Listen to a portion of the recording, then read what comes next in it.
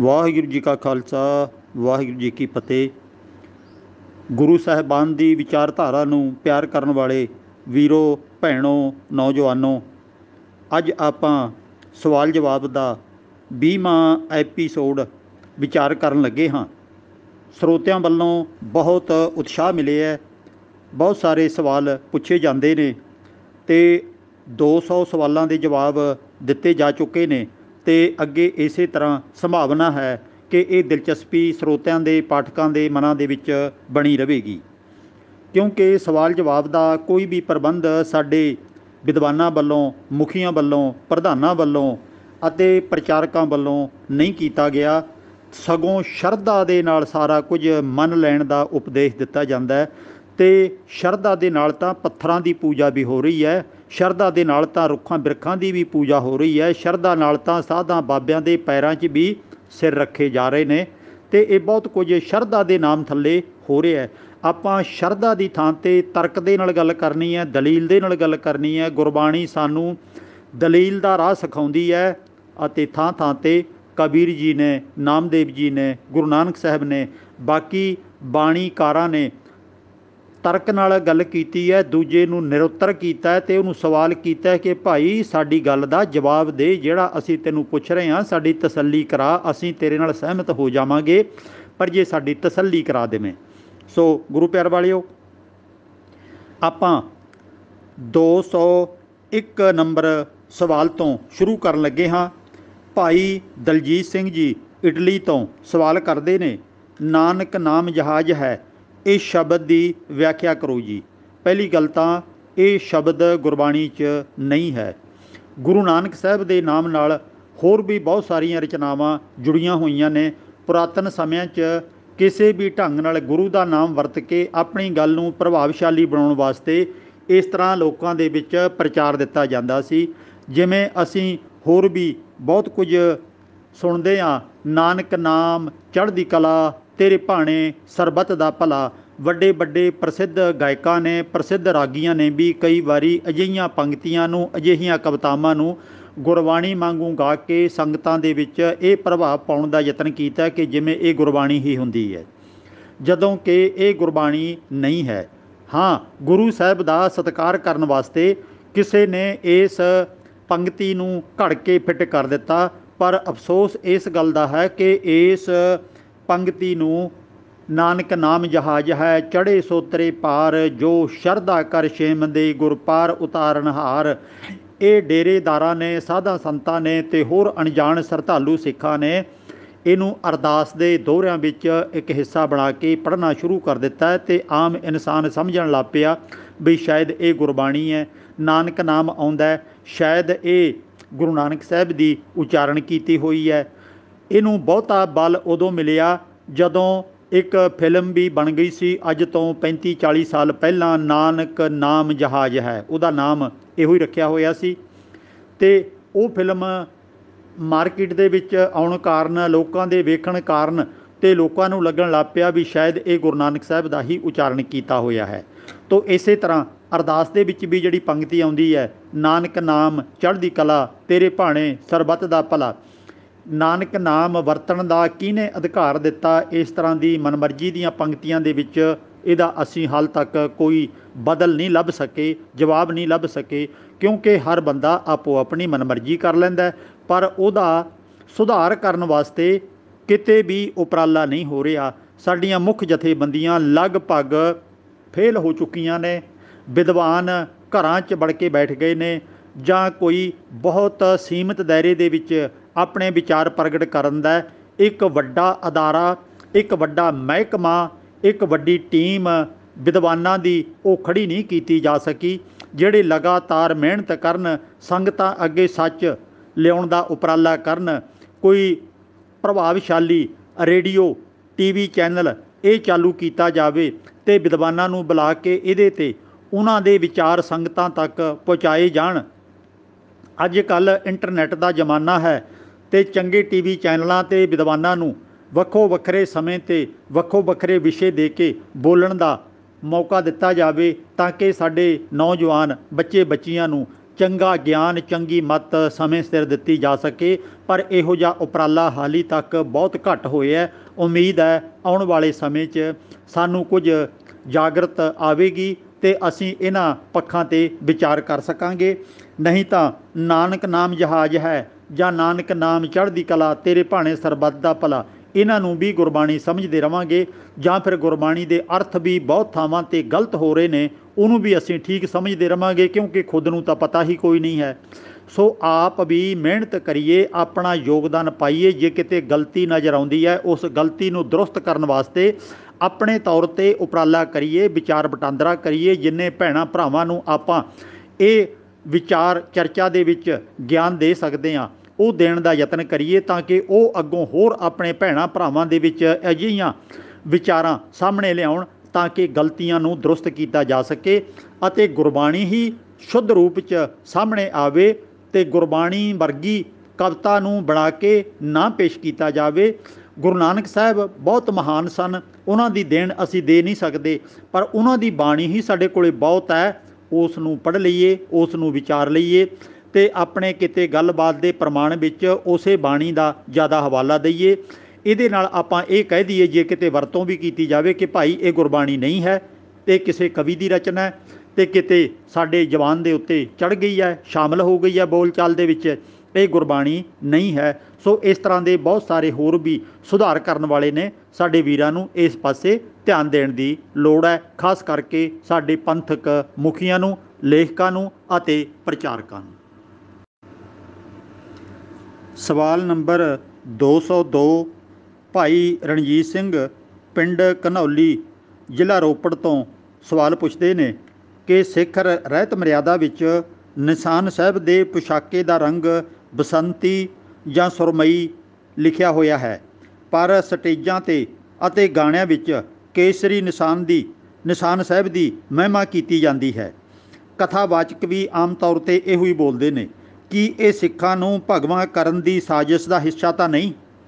ਗੁਰੂ ਪਿਆਰ ਵਾਲਿਓ, ਬਹੁਤ ਕੁਝ ਅਜਿਹਾ ਹੋ ਚੁੱਕਿਆ ਹੋਇਆ ਹੈ, ਜਿਹੜਾ ਕਿ ਅਸੀਂ ਧਿਆਨ ਹੀ ਨਹੀਂ ਦੇ ਸਕੇ।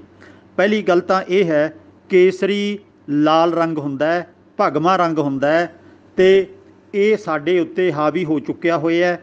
ਸੁਰਮਈ ਰੰਗ ਨੀਲਾ ਰੰਗ ਹੈ ਜਿਹੜਾ ਇਹੋ ਹੀ ਪੁਰਾਤਨ ਸਮਿਆਂ 'ਚ ਚੱਲਦਾ ਸੀ ਤੇ ਜਿਹੜਾ ਬਸੰਤੀ ਰੰਗ ਹੈ ਇਹ ਹੌਲੀ ਹੌਲੀ ਬਦਲ ਕੇ ਲਾਲ ਰੰਗ ਅੱਜ ਬਣ ਚੁੱਕਿਆ ਹੋਇਆ ਹੈ। ਰਹੀ ਗੱਲ, ਸਿੱਖ ਰਹਿਤ ਮਰਿਆਦਾ 'ਚ ਇਹ ਲਿਖਿਆ ਹੋਇਆ ਹੈ ਕਿ ਕੇਸਰੀ ਜਾਂ ਸੁਰਮਈ ਰੰਗ ਪੋਸ਼ਾਕੇ ਦਾ ਹੋਵੇ, ਨਿਸ਼ਾਨ ਸਾਹਿਬ ਦੇ ਪੋਸ਼ਾਕੇ ਦਾ, ਪਰ ਸੋਚਣ ਵਾਲੀ ਗੱਲ ਇਹ ਹੈ ਕਿ ਸਾਨੂੰ ਭਗਵੇਂ ਕਰਨ ਵਾਲੇ ਪਾਸੇ ਲੈ ਕੇ ਕੌਣ ਜਾ ਰਿਹਾ ਹੈ। ਜਦੋਂ ਸਾਡੇ ਆਲੇ ਦੁਆਲੇ ਆਪਾਂ ਧਿਆਨ ਮਾਰੀਏ ਆਮ ਇਹ ਪੜ੍ਹਿਆ ਜਾਂਦਾ ਅਖਬਾਰਾਂ 'ਚ ਜਾਂ ਕਿਤੇ ਬੋਲ ਚਾਲ 'ਚ। ਅੱਜ ਤੱਕ, ਅੱਜ ਕੱਲ੍ਹ ਤਾਂ ਨੈੱਟ ਤੇ ਵੀ ਬਹੁਤ ਕੁਝ ਆ ਜਾਂਦਾ ਕਿ ਫਲਾਣੀ ਥਾਂ ਤੇ ਕੋਈ ਬੰਦਾ ਇੱਕ ਪਰਿਵਾਰ ਨਾਲ ਇੰਨੇ ਹਜ਼ਾਰ ਦੀ, ਇੰਨੇ ਲੱਖ ਦੀ ਠੱਗੀ ਮਾਰ ਕੇ ਚਲਾ ਗਿਆ।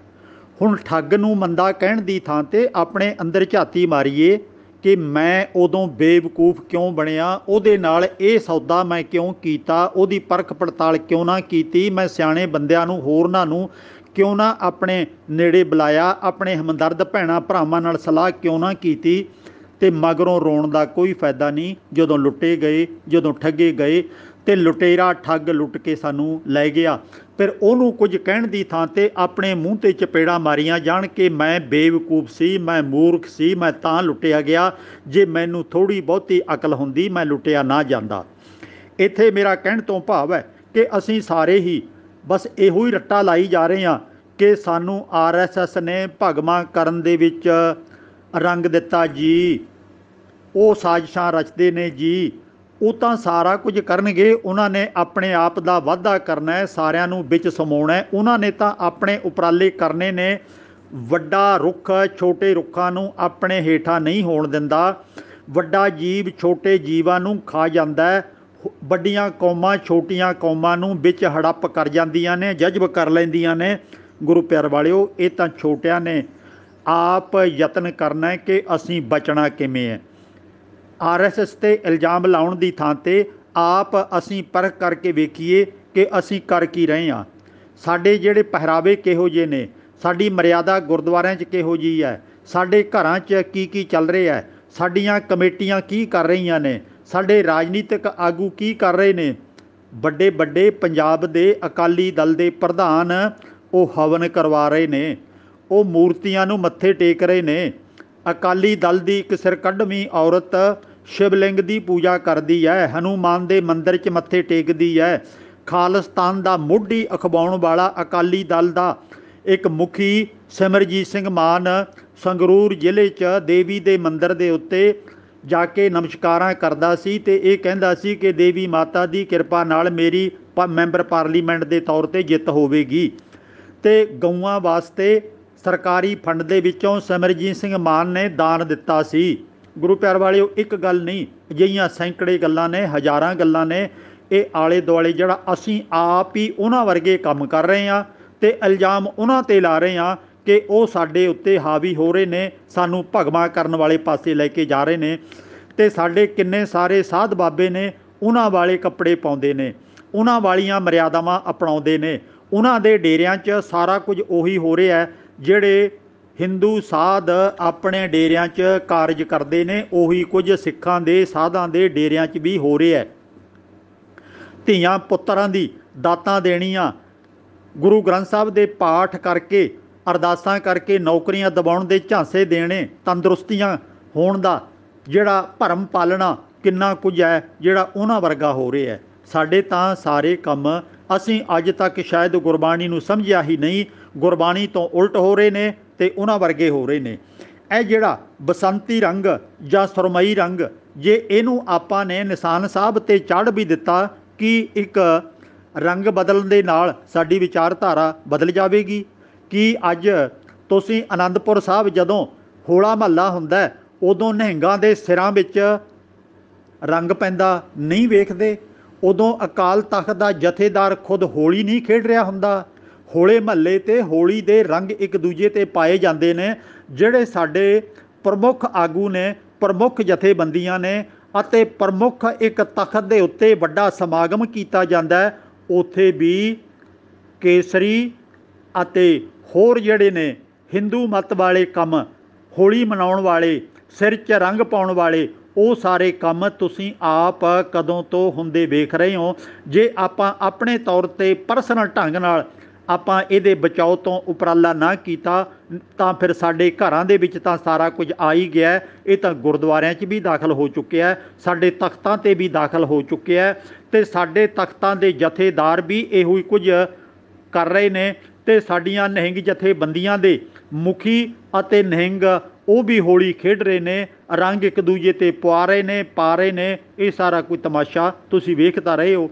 ਤੇ ਕਹਿਣ ਨੂੰ ਇਹ ਕਹੀ ਜਾਣਾ ਕਿ ਸਾਡਾ ਰੰਗ ਤਾਂ ਸੁਰਮਈ ਹੈ ਜਾਂ ਸਾਡਾ ਰੰਗ ਤਾਂ ਕੇਸਰੀ ਹੈ, ਇਹ ਬਸੰਤੀ ਕਿੱਥੋਂ ਆ ਗਿਆ, ਇਹ ਐਦਾਂ ਲਾਲ ਕਿਵੇਂ ਹੋ ਗਿਆ? ਗੁਰੂ ਪਿਆਰ ਵਾਲਿਓ ਕੇਵਲ ਰੰਗਾਂ ਦੀ ਗੱਲ ਨਹੀਂ ਹੋ ਰਹੀ, ਬਹੁਤ ਕੁਝ ਬਦਲ ਗਿਆ ਹੈ। ਗੁਰਬਾਣੀ ਤੋਂ ਅਸੀਂ ਬਹੁਤ ਦੂਰ ਚਾ- ਜਾ ਚੁੱਕੇ ਹਾਂ। ਗੁਰਬਾਣੀ ਨੂੰ ਪੜਨ ਤੋਂ ਅਸੀਂ ਲਗਭਗ ਇਨਕਾਰੀ ਹੋ ਚੁੱਕੇ ਹਾਂ। ਪਹਾੜੇ ਦੇ ਪਾਠ ਕਰਵਾਉਨੇ ਆ ਕਿਰਾਏ ਦੀਆਂ ਅਰਦਾਸਾਂ ਕਰਾਉਨੇ ਆ ਕਿਰਾਏ ਦੇ ਕੀਰਤਨ ਕਰਾਉਨੇ ਆ ਜਾਂ ਫਿਰ ਕਰੇ ਕਿਰਾਏ ਪਾਠ ਖਰੀਦ ਲੈਨੇ ਆ ਤੇ ਵਿਦੇਸ਼ਾਂ 'ਚ ਬੈਠੇ ਸਾਡੇ ਭੈਣ ਭਰਾ, ਸ਼੍ਰੋਮਣੀ ਕਮੇਟੀ ਨੂੰ ਅਤੇ ਸਾਧ ਬਾਬਿਆਂ ਨੂੰ ਵੱਡੀਆਂ ਰਕਮਾਂ ਭੇਜ ਦਿੰਦੇ ਨੇ ਤੇ ਇਹ ਉਹ ਕਹਿ ਦਿੰਦੇ ਨੇ ਕਮੇਟੀਆਂ ਵਾਲੇ ਅਤੇ ਸਾਧ ਬਾਬੇ ਕਿ ਅਸੀਂ ਤੁਹਾਡੇ ਨਾਂ ਤੇ ਅਖੰਡ ਪਾਠ ਕਰ ਦਿੱਤਾ ਉਹਦਾ ਫਲ ਡਾਕ ਰਾਹੀਂ ਤੇ ਅੱਜ ਕੱਲ ਤਾਂ ਇੰਟਰਨੈਟ ਦੇ ਰਾਹੀਂ ਤੁਹਾਡੇ ਤੱਕ ਪਹੁੰਚਾ ਦੇਾਂਗੇ ਤੇ ਟੈ- ਟੈਲੀਵਿਜ਼ਨ ਚੈਨਲਾਂ ਵਾਲੇ ਤੇ ਇਹ ਸ਼ਰੇਆਮ ਕਹਿੰਦੇ ਨੇ ਕਿ ਤੁਸੀਂ ਸਾਡੇ ਕੋਲੇ ਇੰਨੇ ਪੈਸੇ ਜਮ੍ਹਾਂ ਕਰਾਓ, ਅਸੀਂ ਟੀਵੀ ਤੇ ਤੁਹਾਡੇ ਨਾਂ ਦਾ ਪਾਠ ਲਗਾਤਾਰ ਕਰੀ ਜਾਵਾਂਗੇ। ਇਸੇ ਤਰ੍ਹਾਂ ਤਖਤਾਂ ਦੇ ਉੱਤੇ, ਖਾਸ ਕਰਕੇ ਹਜੂਰ ਸਾਹਿਬ ਦੇ ਵਿੱਚ, ਉਹਨਾਂ ਦੇ ਮੈਗਜ਼ੀਨਾਂ 'ਚ ਸਾਰੀਆਂ ਗੱਲਾਂ ਛਪੀਆਂ ਹੁੰਦੀਆਂ ਨੇ ਤੇ ਹੁਣ ਤਾਂ ਨੈੱਟ ਤੇ ਵੀ ਆ ਗਈਆਂ ਨੇ। ਉਹ ਕਹਿੰਦੇ ਨੇ, ਤੁਸੀਂ ਇੰਨੇ ਲੱਖ ਰੁਪਈਆ ਜਮ੍ਹਾਂ ਕਰਾ ਦਿਓ, ਤਾਂ ਸਾਰੀ ਉਮਰ ਤੁਹਾਡੀ ਚੜ੍ਹਦੀ ਕਲਾ ਦੀ ਅਸੀਂ ਅਰਦਾਸ ਕਰਦੇ ਰਵਾਂਗੇ। ਹਰ ਰੋਜ਼ ਸਵੇਰੇ ਸ਼ਾਮ ਤੁਹਾਡਾ ਨਾਮ ਲੈ ਕੇ ਅਰਦਾਸ ਕੀਤੀ ਜਾਇਆ ਕਰੇਗੀ। ਤੁਸੀਂ ਇੰਨੇ ਪੈਸੇ ਜਮ੍ਹਾਂ ਕਰਾ ਦਿਓ, ਤੁਹਾਡੇ ਲੰਗਰ ਦੇ ਵਿੱਚ ਇਹ ਰਸ਼ਦਾਂ ਪੈ ਜਾਣਗੀਆਂ। ਲੰਗਰ ਦੀ ਜਦੋਂ ਸ਼ੁਰੂਆਤ ਹੋਵੇਗੀ, ਉਦੋਂ ਤੁਹਾਡੇ ਨਾਮ ਦੀ ਅਰਦਾਸ ਹੋਇਆ ਕਰੇਗੀ। ਜਾਂ ਸੰਗਰਾਂਦ ਦੇ ਸਮੇਂ ਤੇ ਹਰ ਸੰਗਰਾਂਦ ਨੂੰ ਤੁਹਾਡੇ ਨਾਮ ਦੀ ਅਰਦਾਸ ਹੋਇਆ ਕਰੇਗੀ। ਇੰਨੀ ਮਾਇਆ ਇੱਥੇ ਜਮ੍ਹਾਂ ਕਰਾ ਦਿਓ। ਇਹ ਤਾਂ ਸਾਰਾ ਬਿਜ਼ਨਸ ਬਣ ਚੁੱਕਿਆ ਹੋਇਆ ਸਾਨੂੰ ਗੁਰਬਾਣੀ ਕੀ ਕਹਿੰਦੀ ਹੈ? ਇਹ ਤਾਂ ਚਿਤ ਚੇਤਾ ਹੀ ਨਹੀਂ ਰਿਹਾ। ਆਪਣੇ ਤੌਰ ਤੇ ਜਿੱਥੇ ਵੀ ਕੋਈ ਭੈਣ ਭਾਈ ਹੈਗਾ, ਉਹ ਆਪ ਗੁਰਬਾਣੀ ਪੜ੍ਹੇ, ਆਪ ਸਾਵਧਾਨ ਹੋਵੇ, ਆਪਣੇ ਆਪ ਤੇ ਗੁਰਬਾਣੀ ਦੇ ਅਸੂਲ ਲਾਗੂ ਕਰੇ, ਆਪਣੇ ਘਰ 'ਚ ਲਾਗੂ ਕਰੇ, ਜਿੰਨਾ ਕੁ ਹੋ ਸਕਦਾ ਆਲੇ ਦੁਆਲੇ, ਇਹਨਾਂ ਅਸੂਲਾਂ ਨੂੰ ਲਾਗੂ ਕਰਨ ਦਾ ਪਿਆਰ ਭਰੇ ਢੰਗ ਦੇ ਨਾਲ ਉਪਰਾਲਾ ਕਰੇ, ਤਾਂ ਸੁਧਾਰ ਹੋਣਾ ਹੈ। ਕੇਵਲ ਫਿਕਰ ਕਰਨ ਦੇ ਨਾਲ ਕੁਝ ਵੀ ਨਹੀਂ ਹੋਣਾ, ਕੇਵਲ ਗੱਲਾਂ ਕਰਨ ਦੇ ਨਾਲ ਕੁਝ ਵੀ ਨਹੀਂ ਸਮਰਨਾ, ਇਹ ਤਾਂ ਸਾਰਾ ਸਾਨੂੰ ਉਦਮ ਕਰਕੇ, ਹਿੰਮਤ ਕਰਕੇ ਅਕਲਬੰਦੀ ਦੀ ਵਰਤੋਂ ਕਰਕੇ ਇਹ ਸਾਰੇ ਕਾਰਜ ਜਿਹੜੇ ਸਾਨੂੰ ਸਮਝ ਆਉਂਦੇ ਨੇ, ਉਹਨੂੰ ਸੁਧਾਰ ਕਰਨ ਦੇ ਉਪਰਾਲੇ ਸਾਨੂੰ ਕਰਨੇ ਪੈਣਗੇ। ਨਹੀਂ ਤਾਂ ਜਦੋਂ ਬੇੜਾ ਬਿਹਾ ਗਿਆ, ਤਾਂ ਕੁਝ ਵੀ ਹੱਥ ਨਹੀਂ ਆਉਣਾ ਫਿਰ। ਬੇੜਾ ਬੰਧ ਨਾ ਸਕਿਓ। ਬੰਧਨ ਕੀ ਬੇੜਾ? ਪਰ ਸਰਬਰ ਜਬ ਉਛਲੈ ਤਬ ਤਰਨ ਦੋਹਿਲਾ। ਜਦੋਂ ਹੱਥੋਂ ਸਭ ਕੁਝ ਨਿਕਲ ਗਿਆ, ਫਿਰ ਰੋਣ ਦਾ, ਫਿਰ ਫਿਕਰ ਕਰਨ ਦਾ ਕੋਈ ਫਾਇਦਾ ਨਹੀਂ ਹੈ। ਤੇ ਆਪ ਉਪਰਾਲਾ ਕਰੀਏ, ਇਹ ਬਸੰਤੀ ਰੰਗ ਜਾਂ ਇਹ ਸੁਰਮਈ ਰੰਗ ਇਹ ਜੇ ਸਹੀ ਰੰਗ ਅਸੀਂ ਲੈ ਵੀ ਆਂਦੇ ਤਾਂ ਵੀ ਸਾਡੇ ਦਿਮਾਗ ਦੀ ਬਦਲੀ ਨਹੀਂ ਹੋਣੀ।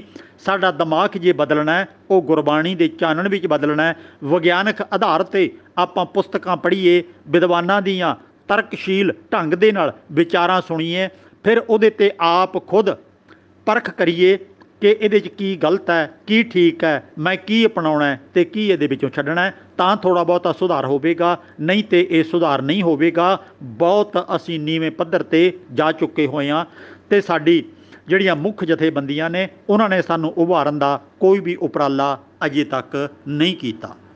ਸਵਾਲ ਨੰਬਰ 203 ਭਾਈ ਸੋਮਨ ਸਿੰਘ। ਇਹਨਾਂ ਦਾ ਸਵਾਲ ਹੈ, ਕੀ ਗੁਰੂ ਨਾਨਕ ਸਾਹਿਬ ਜੀ ਸਿੱਖ ਸਨ? ਉਹਨਾਂ ਦੇ ਸਿੱਖ ਹੋਣ ਦਾ ਸਬੂਤ ਕੀ ਹੈ? ਕਿਉਂਕਿ ਉਹ ਤਾਂ ਜਾਤ ਪਾਤ ਅਤੇ ਕਿਸੇ ਧਰਮ ਨੂੰ ਮੰਨਦੇ ਹੀ ਨਹੀਂ ਸਨ। ਗੁਰੂ ਪਿਆਰ ਵਾਲਿਓ, ਗੁਰੂ ਨਾਨਕ ਸਾਹਿਬ ਅਤੇ ਬਾਕੀ ਗੁਰੂ ਸਾਹਿਬ ਸਮੇਤ ਭਗਤਾਂ ਦੇ ਜਿਹੜੇ 35 ਮਹਾਪੁਰਖਾਂ ਦੀ ਬਾਣੀ ਗੁਰੂ ਗ੍ਰੰਥ ਸਾਹਿਬ ਦੇ ਵਿੱਚ ਦਰਜ ਹੈ, ਉਹ ਸਾਰੇ ਹੀ ਅਕਾਲ ਪੁਰਖ ਦੇ ਸਿੱਖ ਸਨ। ਉਹਨਾਂ ਨੇ ਆਪਣੇ ਆਪ ਨੂੰ ਕਿਸੇ ਬੰਦੇ ਦਾ ਸੇਵਕ ਸਿੱਖ ਨਹੀਂ ਬਣਾਇਆ ਉਹਨਾਂ ਨੇ ਆਪਣੀ ਬਾਣੀ ਦੇ ਵਿੱਚ ਬਾ ਦਲੀਲ ਢੰਗ ਦੇ ਨਾਲ, ਵੱਡੇ ਵਿਸਥਾਰ ਦੇ ਨਾਲ, ਜੇ ਮੈਂ ਪ੍ਰਮਾਣ ਦੇਣ ਲੱਗਾ ਤਾਂ ਸਾਰਾ ਦਿਨ ਉਹਨਾਂ ਪ੍ਰਮਾਣਾਂ ਨੂੰ ਪੜਨ ਅਤੇ ਸੁਣਨ ਤੇ ਲੱਗ ਜਾਂਦਾ ਹੈ। ਇੰਨੀ ਵਾਰੀ ਉਹਨਾਂ ਨੇ ਆਖਿਆ ਕਿ ਸਾਡਾ ਗੁਰੂ ਪਰਮਾਤਮਾ ਹੈ, ਕਰਤਾ ਪੁਰਖ ਹੈ, ਰੱਬ ਹੈ, ਗਿਆਨ ਹੈ, ਸ਼ਬਦ ਹੈ। ਕਿੰਨੇ ਸਾਰੇ ਢੰਗਾਂ ਨਾਲ ਉਹਨਾਂ ਨੇ ਬੰਦੇ ਤੋਂ ਗੁਰੂ ਹੋਣ ਦਾ ਇਨਕਾਰ ਕੀਤਾ ਕਿ ਅਸੀਂ ਕਿਸੇ ਵਿਅਕਤੀ ਦੇ ਗੁਰੂ ਨਹੀਂ ਹਾਂ। ਬ੍ਰਾਹਮਣ ਦੇ ਗੁਰੂ, ਅਸੀਂ ਬ੍ਰਾਹਮਣ ਨੂੰ ਵੀ ਆਪਣਾ ਗੁਰੂ ਨਹੀਂ ਮੰਨਦੇ ਅਤੇ ਹੋਰ ਵੀ ਕੋਈ ਸਾਡਾ ਗੁਰੂ ਨਹੀਂ ਹੈ। ਹੁਣ ਇੱਥੇ ਰਹੀ ਗੱਲ ਧਰਮ ਦੀ। ਸਿੱਖ ਧਰਮ ਅੱਜ ਭਾਵੇਂ ਧਰਮ ਇਹਨੂੰ ਆਖਣ ਲੱਗ ਪਏ ਕਿਉਂਕਿ ਕੋਈ ਨਾ ਕੋਈ ਨਾਮ ਪ੍ਰਚਲਿਤ ਅਕਸਰ ਹੋ ਜਾਂਦਾ ਅਸਲ ਦੇ ਵਿੱਚ ਸਿੱਖ ਵੇ ਆਫ ਲਾਈਫ ਹੈ। ਜਿਹੜਾ ਗੁਰਮਤ ਫਲਸਫਾ ਹੈ, ਇਹ ਸਿੱਖ ਧਰਮ ਬਣ ਗਿਆ ਹੈ ਤੇ ਇਹਨੂੰ ਆਪਾਂ ਸਿੱਖ ਇੱਕ ਜੀਵਨ ਜਾਚ ਬਣ ਜਾਂਦੀ ਹੈ। ਕਿ ਅਸੀਂ ਜ਼ਿੰਦਗੀ ਕਿਵੇਂ ਜਿਉਣੀ ਹੈ? ਉਹਨਾਂ ਸਮਿਆਂ 'ਚ ਅੱਜ ਤੋਂ 500 550 ਸਾਲ ਪਹਿਲਾਂ ਇਹਨੇ ਸੁਚੱਜੇ ਢੰਗ ਨਾਲ ਤਰਕ ਤੇ ਆਧਾਰਿਤ ਵਹਿਮਾਂ ਪ- ਭਰਮਾਂ ਪਖੰਡਾਂ ਤੋਂ ਉੱਪਰ ਉੱਠ ਕੇ ਜੋ ਵਿਚਾਰਧਾਰਾ ਸਾਨੂੰ ਗੁਰੂ ਸਾਹਿਬਾਨ ਨੇ ਦਿੱਤੀ ਹੈ, ਭਗਤਾਂ ਨੇ ਦਿੱਤੀ ਹੈ ਗੁਰਬਾਣੀ ਦੇ ਰੂਪ ਵਿੱਚ, ਉਹ ਆਪਣੇ ਆਪ ਦੇ ਵਿੱਚ ਲਾ ਮਿਸਾਲ ਹੈ। ਤੇ ਅੱਜ ਤੱਕ ਵੀ ਉਹਦਾ ਕੋਈ ਸਾਨੀ ਨਹੀਂ ਹੈ, ਪਰ ਅੱਜ ਜ਼ਮਾਨੇ ਦੇ ਨਾਲ ਹੋਰ ਬਹੁਤ ਸਾਰਾ ਗਿਆਨ ਵੀ ਸਮਾਜ ਦੇ ਵਿੱਚ ਆ ਗਿਆ ਅਸੀਂ ਉਹ ਵੀ ਪ੍ਰਾਪਤ ਕਰਨਾ ਪਰ ਉਹ ਬੰਦਾ ਜਿਹੜਾ ਗਿਆਨ ਦੇ ਰਾਹ ਪੈ ਜਾਂਦਾ ਹੈ, ਉਹ ਗੁਰੂ ਸਾਹਿਬ ਦਾ ਬਾਰ-ਬਾਰ ਧੰਨਵਾਦ ਕਰਦਾ ਹੈ ਕਿ ਸ਼ੁਕਰ ਹੈ ਤੁਸੀਂ ਸਾਨੂੰ ਅੰਧ ਵਿਸ਼ਵਾਸ ਚੋਂ ਕੱਢ ਕੇ ਗਿਆਨ ਦੇ ਰਾਹ ਤੋਰ ਦਿੱਤਾ ਹੈ। ਗੁਰੂ ਨਾਨਕ ਸਾਹਿਬ ਨੇ ਆਪਣੇ ਆਪ ਨੂੰ ਸਿੱਖ ਆਖਿਆ ਤੇ ਉਹ ਸਿੱਖ ਕਿਹਦੇ ਸਨ? ਅਕਾਲ ਪੁਰਖ ਦੇ, ਰੱਬ ਦੇ, ਗਿਆਨ ਦੇ, ਉਹ ਮੈਂ ਪੰਕਤੀਆਂ ਤੁਹਾਡੇ ਸਾਹਮਣੇ ਰੱਖਣ ਲੱਗਿਆ ਗੁਰੂ ਨਾਨਕ ਸਾਹਿਬ ਕਹਿ ਰਹੇ ਨੇ, ਗੁਰ ਦਾਤਾ, ਗੁਰ ਹਿਵੈ ਘਰ, ਗੁਰ ਦੀਪਕ ਤਹਿ ਲੋਏ। ਗੁਰੂ, ਰੱਬ, ਪਰਮਾਤਮਾ, ਗਿਆਨ, ਉਹੀ ਮੇਰੇ ਵਾਸਤੇ ਸਭ ਕੁਝ ਹੈ। ਗੁਰ ਪੌੜੀ, ਬੇੜੀ ਗੁਰੂ, ਗੁਰ ਤੁਲਾ ਹਰ ਨਾਉ। ਗੁਰ ਸਰ ਸਾਗਰ ਬੋਹਿਥੋ ਗੁਰ ਤੀਰਥ ਦਰਿਆਓ ਬਹੁਤ ਸੌਖੇ ਸ਼ਬਦ ਨੇ, ਸਾਨੂੰ ਸਮਝ ਆ ਰਹੇ ਨੇ। ਖੋਟੇ ਪੋਤੇ ਨਾ ਪਵੈ, ਤਿਨ ਹਰ ਗੁਰ ਦਰਸ਼ ਨਾ ਹੋਏ। ਇੱਥੇ ਹਰ ਗੁਰ ਸ਼ਬਦ ਆਇਆ ਕਿ ਹਰੀ ਹੀ ਸਾਡਾ ਗੁਰੂ ਹੈ। ਹਉ ਗੁਰ ਪੁੱਛੋ ਆਪਣਾ, ਗੁਰ ਪੁੱਛਕਾਰ ਕਮਾਓ। ਕਿਹੜੇ ਗੁਰੂ ਨੂੰ ਪੁੱਛ ਰਹੇ ਨੇ ਗੁਰੂ ਨਾਨਕ ਸਾਹਿਬ? ਕਿ ਮੈਂ ਤਾਂ ਗੁਰੂ ਨੂੰ ਪੁੱਛ ਕੇ ਸਾਰੇ ਕੰਮ ਕਰਦਾ। ਗੁਰਦਾਤਾ ਸਮਰੱਥ ਗੁਰ ਗੁਰ ਸਭ ਮੈਂ ਰਹਾ ਸਮਾਏ। ਗੁਰ ਪਰਮੇਸ਼ਰ ਪਾਰ ਬ੍ਰਹਮ, ਗੁਰ ਡੁੱਬਦਾ ਲਏ ਤਰਾਏ। ਇੱਥੇ ਬਿਲਕੁਲ ਸਪਸ਼ਟ ਕਰ ਦਿੱਤੀ ਹੈ, ਗੁਰੂ ਨਾਨਕ ਸਾਹਿਬ ਨੇ ਵਿਚਾਰਧਾਰਾ, ਗੁਰਦਾਤਾ, ਸਮਰੱਥ ਗੁਰ, ਸਭ ਕੁਝ ਕਰਨ ਕਾਰਨ ਵਾਲਾ। ਗੁਰ ਸਭ ਮੈਂ ਰਹਾ ਸਮਾਏ, ਗੁਰੂ ਕਿਹੜਾ ਹੈ, ਕਿੱਥੇ ਰਹਿੰਦਾ ਹੈ? ਉਹ ਤਾਂ ਜਰੇ ਜਰੇ ਚ ਵਸਦਾ ਹੈ, ਹਰ ਜੀਵ ਦੇ ਵਿੱਚ ਵਸਦਾ ਹੈ, ਸਾਡੇ ਸਾਰਿਆਂ ਚ ਵਸਦਾ ਹੈ, ਉਹ ਮੇਰਾ ਗੁਰੂ ਹੈ। ਜਿਹਦੀ ਸੱਤਿਆ, ਜਿਹਦਾ ਨਿਯਮ, ਜਿਹਦਾ ਕਾਨੂੰਨ, ਜਿਹਦਾ ਹੁਕਮ ਹਰ ਥਾਂ ਤੇ ਮੌਜੂਦ ਹੈ। ਗੁਰਦਾਤਾ ਸਮਰੱਥ ਗੁਰ ਗੁਰ ਸਭ ਮੈਂ ਰਹਾ ਸਮਾਏ, ਗੁਰ ਪਰਮੇਸ਼ਰ ਪਾਰ ਬ੍ਰਹਮ, ਗੁਰ ਡੁੱਬਦਾ ਲਏ ਤਰਾਏ। ਸਾਚੇ ਗੁਰ ਕੀ, ਸਾਚੀ ਸੀਖ। ਆ ਧਿਆਨ ਨਾਲ ਗੁਰੂ ਨਾਨਕ ਸਾਹਿਬ ਦੀ ਵਿਚਾਰਧਾਰਾ ਨੂੰ ਪੜ੍ਹ ਲੈਣਾ। ਹਰ ਗੁਰ ਸਰਵਰ ਸੇਵ ਤੂੰ, ਪਾਵੈ ਦਰਗਹਿ ਮਾਨ, ਹਰ ਗੁਰ। ਨਿਰੰਕਾਰ ਹੀ ਸਾਡਾ ਗੁਰੂ ਹੈ, ਨਿਰੰਕਾਰ ਉਹ ਜਿਹੜਾ ਹਰ ਥਾਂ ਤੇ ਸਮਾਇਆ ਹੋਇਆ ਹੈ। ਹਰ ਸੱਜਣ ਗੁਰਸੇਵ ਦਾ ਗੁਰ ਕਰਨੀ ਪ੍ਰਧਾਨ। ਨਾਨਕ ਨਾਮ ਨਾ ਵਿਸਰੈ, ਮੇਰੇ ਗੁਰ ਕਰਤਾਰ, ਇਤੇ ਗੁਰ ਕਰਤਾਰ। ਅੱਗੇ ਪੁੱਛ ਨਾ ਹੋਵਈ, ਜਿਸ ਬੇਲੀ ਗੁਰ ਕਰਤਾਰ। ਭਾਈ, ਉਹਨਾਂ ਨੂੰ ਕਿਸੇ ਵੀ ਰਾਹ ਦੇ ਵਿੱਚ ਰੁਕਾਵਟ ਨਹੀਂ ਆਉਣੀ, ਜਿਨ੍ਹਾਂ ਨੇ ਪ੍ਰਭੂ ਪਰਮਾਤਮਾ ਨੂੰ, ਉਹਦੇ ਗਿਆਨ ਨੂੰ ਆਪਣਾ ਗੁਰੂ ਬਣਾਇਆ ਜੋ ਆਇਆ ਸੋ ਚੱਲ ਸੀ, ਅਮਰ ਸੋ ਗੁਰ ਕਰਤਾਰ ਬਾਕੀ ਸੰਸਾਰ ਦੇ ਜੀਵਾਂ ਨੇ ਸਾਰਿਆਂ ਨੇ ਜਨਮ ਲੈਣਾ ਅਤੇ ਮਰ ਜਾਣਾ। ਉਸ ਨਿਰੰਕਾਰ ਦਾ ਨਿਯਮ, ਉਹ ਪੱਕਾ ਅਟਲ ਹੈ, ਸਦਾ ਚੱਲਦੇ ਰਹਿਣਾ ਹੈ। ਗੁਰ ਪਰਮੇਸ਼ਰ ਨਾਨਕ ਭੇਟਿਓ, ਸੱਚ ਹੈ, ਸ਼ਬਦ ਨਵੇੜਾ ਉਹ ਕਿਵੇਂ ਭੇਟਿਆ? ਉਹ ਸ਼ਬਦ ਦੇ ਰਾਹੀਂ, ਉਹ ਗਿਆਨ ਦੇ ਰਾਹੀਂ ਤੇ ਸਾਨੂੰ ਪ੍ਰਭੂ ਦੇ ਹੁਕਮ ਦਾ ਪਤਾ ਲੱਗਿਆ। ਗੁਰ ਸੱਚ ਸਮਾਇਆ, ਗੁਰ ਆਦ ਪੁਰਖ ਹਰ ਪਾਇਆ। ਗੁਰ ਸਤਗੁਰ ਭਰਮ ਚੁਕਾਇਆ, ਕਉ ਨਾਨਕ ਸ਼ਬਦ ਮਿਲਾਇਆ। ਇਹ ਸਾਰੇ ਭਰਮ ਚੁੱਕੇ ਗਏ ਸ਼ਬਦ ਗਿਆਨ ਦੇ ਨਾਲ। ਅਪਰੰਪਰ ਪਾਰ ਬ੍ਰਹਮ ਪਰਮੇਸ਼ਰ, ਨਾਨਕ ਗੁਰ ਮਿਲਿਆ, ਸੋਈ ਜੀਓ। ਇਹ ਭਾਈ ਮੈਨੂੰ ਅਪਰੰਪਰ ਪਾਰ ਬ੍ਰਹਮ ਪਰਮੇਸ਼ਰ ਉਹ ਗੁਰੂ ਮਿਲ ਗਿਆ ਮੈਂ ਕਿਸੇ ਹੋਰ ਨੂੰ ਗੁਰੂ ਨਹੀਂ ਮੰਨਦਾ, ਨਾ ਧਾਰਨ ਕਰਦਾ ਹਾਂ। ਗੁਰੂ ਪਿਆਰ ਵਾਲਿਓ, ਗੁਰੂ ਨਾਨਕ ਸਾਹਿਬ ਅਤੇ ਬਾਕੀ ਬਾਣੀ ਰਚੇਤਾ ਮਹਾਪੁਰਖ ਇੱਕ ਪਰਮੇਸ਼ਰ ਨੂੰ, ਉਹਦੇ ਨਿਯਮ ਨੂੰ ਆਪਣਾ ਗੁਰੂ ਮੰਨਦੇ ਸਨ। ਸ਼ਬਦ ਗੁਰੂ ਦੇ ਬਾਰ-ਬਾਰ ਗੁਰਬਾਣੀ ਦੇ ਵਿੱਚ ਹਵਾਲੇ ਮਿਲਦੇ ਨੇ ਕਿ ਬਾਕੀ ਸਭ ਕੁਝ ਬਿਨਸ ਜਾਵੇਗਾ, ਉਸ ਕਰਤਾ ਪੁਰਖ ਦਾ ਨ- ਨਿਯਮ ਜੋ ਕਿ ਹਰ ਥਾਂ ਤੇ ਮੌਜੂਦ ਹੈ, ਲਾਗੂ ਹੁੰਦਾ ਉਹ ਅਟਲ ਹੈ, ਉਹੀ ਸਾਡਾ ਗੁਰੂ ਹੈ। ਗੁਰੂ ਦਾ ਮਹਿਨਾ ਹੈ ਗਿਆਨ। ਗਿਆਨ ਜੇ ਸਾਡੇ ਕੋਲੇ ਹੋਵੇਗਾ ਤਾਂ ਅਸੀਂ ਜ਼ਿੰਦਗੀ ਦੇ ਵਿੱਚ ਵਿਕਾਸ ਕਰ ਸਕਾਂਗੇ, ਅੱਗੇ ਵੱਧ ਸਕਾਂਗੇ, ਜ਼ਿੰਦਗੀ ਨੂੰ ਸਫਲਤਾ ਨਾਲ ਜਿਉ ਸਕਾਂਗੇ। ਜੇ ਸਾਡੇ ਕੋਲ ਗਿਆਨ ਨਹੀਂ ਹੋਵੇਗਾ ਤਾਂ ਅਸੀਂ ਦੂਜਿਆਂ ਦੇ ਗੁਲਾਮ ਬਣਾਂਗੇ, ਜ਼ਿੰਦਗੀ 'ਚ ਫੇਲ ਹੋ ਜਾਵਾਂਗੇ ਤੇ ਅਸੀਂ ਪਸ਼ੂਆਂ ਨਾਲੋਂ ਭੈੜਾ ਜੀਵਨ ਬਤੀਤ ਕਰਨ ਤੇ ਮਜਬੂਰ ਹੋ ਜਾਵਾਂਗੇ। ਜਿਨ੍ਹਾਂ ਲੋਕਾਂ ਦੀ ਵਿੱਦਿਆ ਖੋਹ ਲਈ ਜਾਂਦੀ ਹੈ, ਗਿਆਨ ਖੋਹ ਲਿਆ ਜਾਂਦਾ ਹੈ, ਉਹ ਕੁਝ ਵੀ ਕਰਨ ਯੋਗੇ ਨਹੀਂ ਰਹਿੰਦੇ। ਇਸੇ ਭਾਰਤ ਦੇਸ਼ ਦੇ ਵਿੱਚ ਸਦੀਆਂ ਤੋਂ ਸ਼ੂਦਰ ਭੈਣ ਭਰਾਵਾਂ ਦੀ ਵਿੱਦਿਆ ਤੇ ਰੋਕ ਲਾਈ ਹੋਈ ਸੀ ਪੁਜਾਰੀ ਵੱਲੋਂ ਤੇ ਅੱਜ ਉਹਨਾਂ ਦੀ ਹਾਲਤ ਆਪਾਂ ਦੇਖ ਸਕਦੇ ਹਾਂ। ਭਾਵੇਂ ਕਿ ਡਾਕਟਰ ਅੰਬੇਦਕਰ ਜੀ ਨੇ ਉਹਨਾਂ ਨੂੰ ਵਿੱਦਿਆ ਲੈਣ ਦੇ ਰਾਹ ਬਹੁਤ ਹੱਦ ਤੱਕ ਖੋਲ ਦਿੱਤੇ ਫਿਰ ਵੀ ਉਹਨਾਂ ਦਾ ਪਛੜੇਵਾਂ ਸਦੀਆਂ ਬੀਤ ਜਾਣ ਤੇ ਇੰਨਾ ਬਹੁਤ ਜ਼ਿਆਦਾ ਉਹਨਾਂ ਦਾ ਪਛੜੇਵਾਂ ਬਣ ਗਿਆ ਕਿ ਉਹਨਾਂ ਦਾ ਪੜ੍ਹਨਾ ਲਿਖਣਾ ਵੀ ਮੁਸ਼ਕਲ ਹੋ ਗਿਆ ਤੇ ਆਪਣੇ ਘਰੋਂ ਨਿਕਲਣਾ ਵੀ ਮੁਸ਼ਕਲ ਹੋ ਗਿਆ, ਹਿੰਮਤ ਹੌਸਲਾ ਅੰਦਰਲਾ ਮੁੱਕ ਗਿਆ ਤੇ ਉਹ ਕਿਸੇ ਵੀ ਥਾਂ ਤੇ ਆਦਰ ਮਾਉਣ ਪਾਉਣ ਯੋਗੇ ਨਾ ਰਹਿਣ ਦਿੱਤੇ ਗਏ।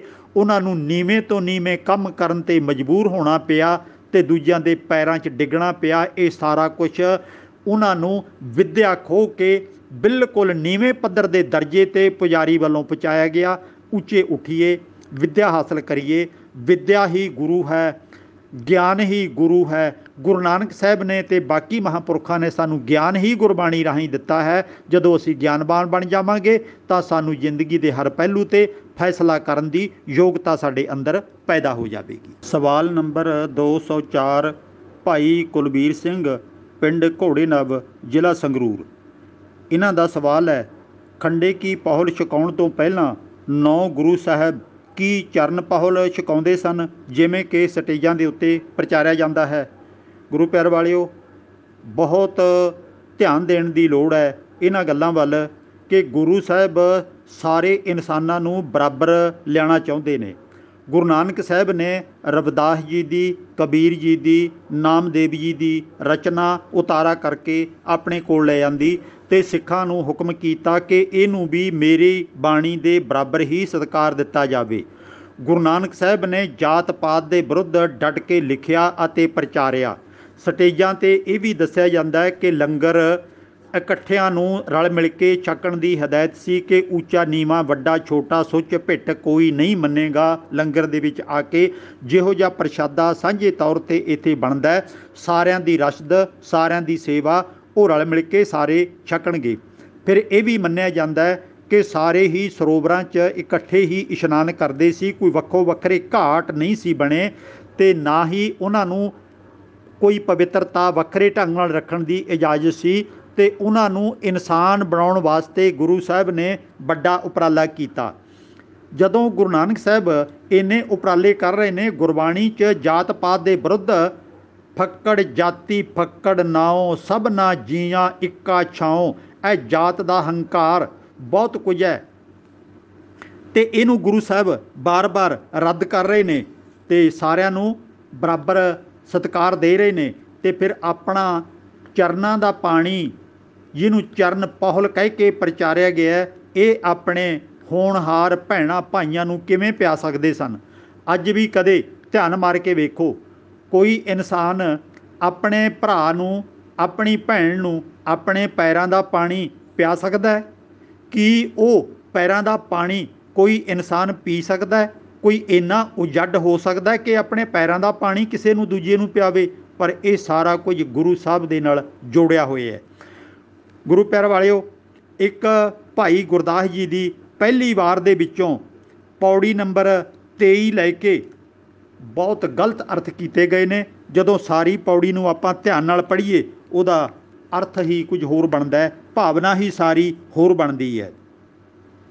ਇੱਥੇ ਭਾਈ ਗੁਰਦਾਸ ਜੀ ਕਹਿ ਰਹੇ ਨੇ, ਸੁਣੀ ਪੁਕਾਰ ਦਾਤਾਰ ਪ੍ਰਭ, ਗੁਰੂ ਨਾਨਕ ਜਗ ਮਾਹੇ ਪਠਾਇਆ। ਵਾਹਿਗੁਰੂ ਨੇ, ਪ੍ਰਮਾਤਮਾ ਨੇ ਕਿਰਪਾ ਕੀਤੀ ਤੇ ਗੁਰੂ ਨਾਨਕ ਵਰਗਾ ਮਹਾਪੁਰਖ ਲੋਕਾਂ ਦੇ ਭਲੇ ਵਾਸਤੇ ਧਰਤੀ ਦੇ ਉੱਤੇ ਭੇਜ ਦਿੱਤਾ। ਚਰਨ ਧੋਏ ਰਹਿ ਰਾਸ ਕਰ ਚਰਨਾਮਤ ਸਿੱਖਾਂ ਪਿਲਾਇਆ। ਤੇ ਇਥੇ ਕਿਰਪਾ ਰੂਪੀ, ਨਾਮ ਰੂਪੀ, ਉਹਨਾਂ ਦੇ ਉਪਦੇਸ਼ ਰੂਪੀ ਅਸੀਂ ਨਿਮਰਤਾ ਦੇ ਵਿੱਚ ਸਤਕਾਰ ਦੇ ਰਹੇ ਹਾਂ। ਭਾਈ ਗੁਰਦਾਸ ਜੀ ਗੁਰੂ ਨਾਨਕ ਸਾਹਿਬ ਨੂੰ ਸਤਕਾਰ ਦੇ ਰਹੇ ਨੇ। ਸੱਚਮੁੱਚ ਉਹਨਾਂ ਦੇ ਚਰਨਾਂ ਦਾ ਪਾਣੀ ਪੀਣ ਦੀ ਗੱਲ ਨਹੀਂ ਹੋ ਰਹੀ।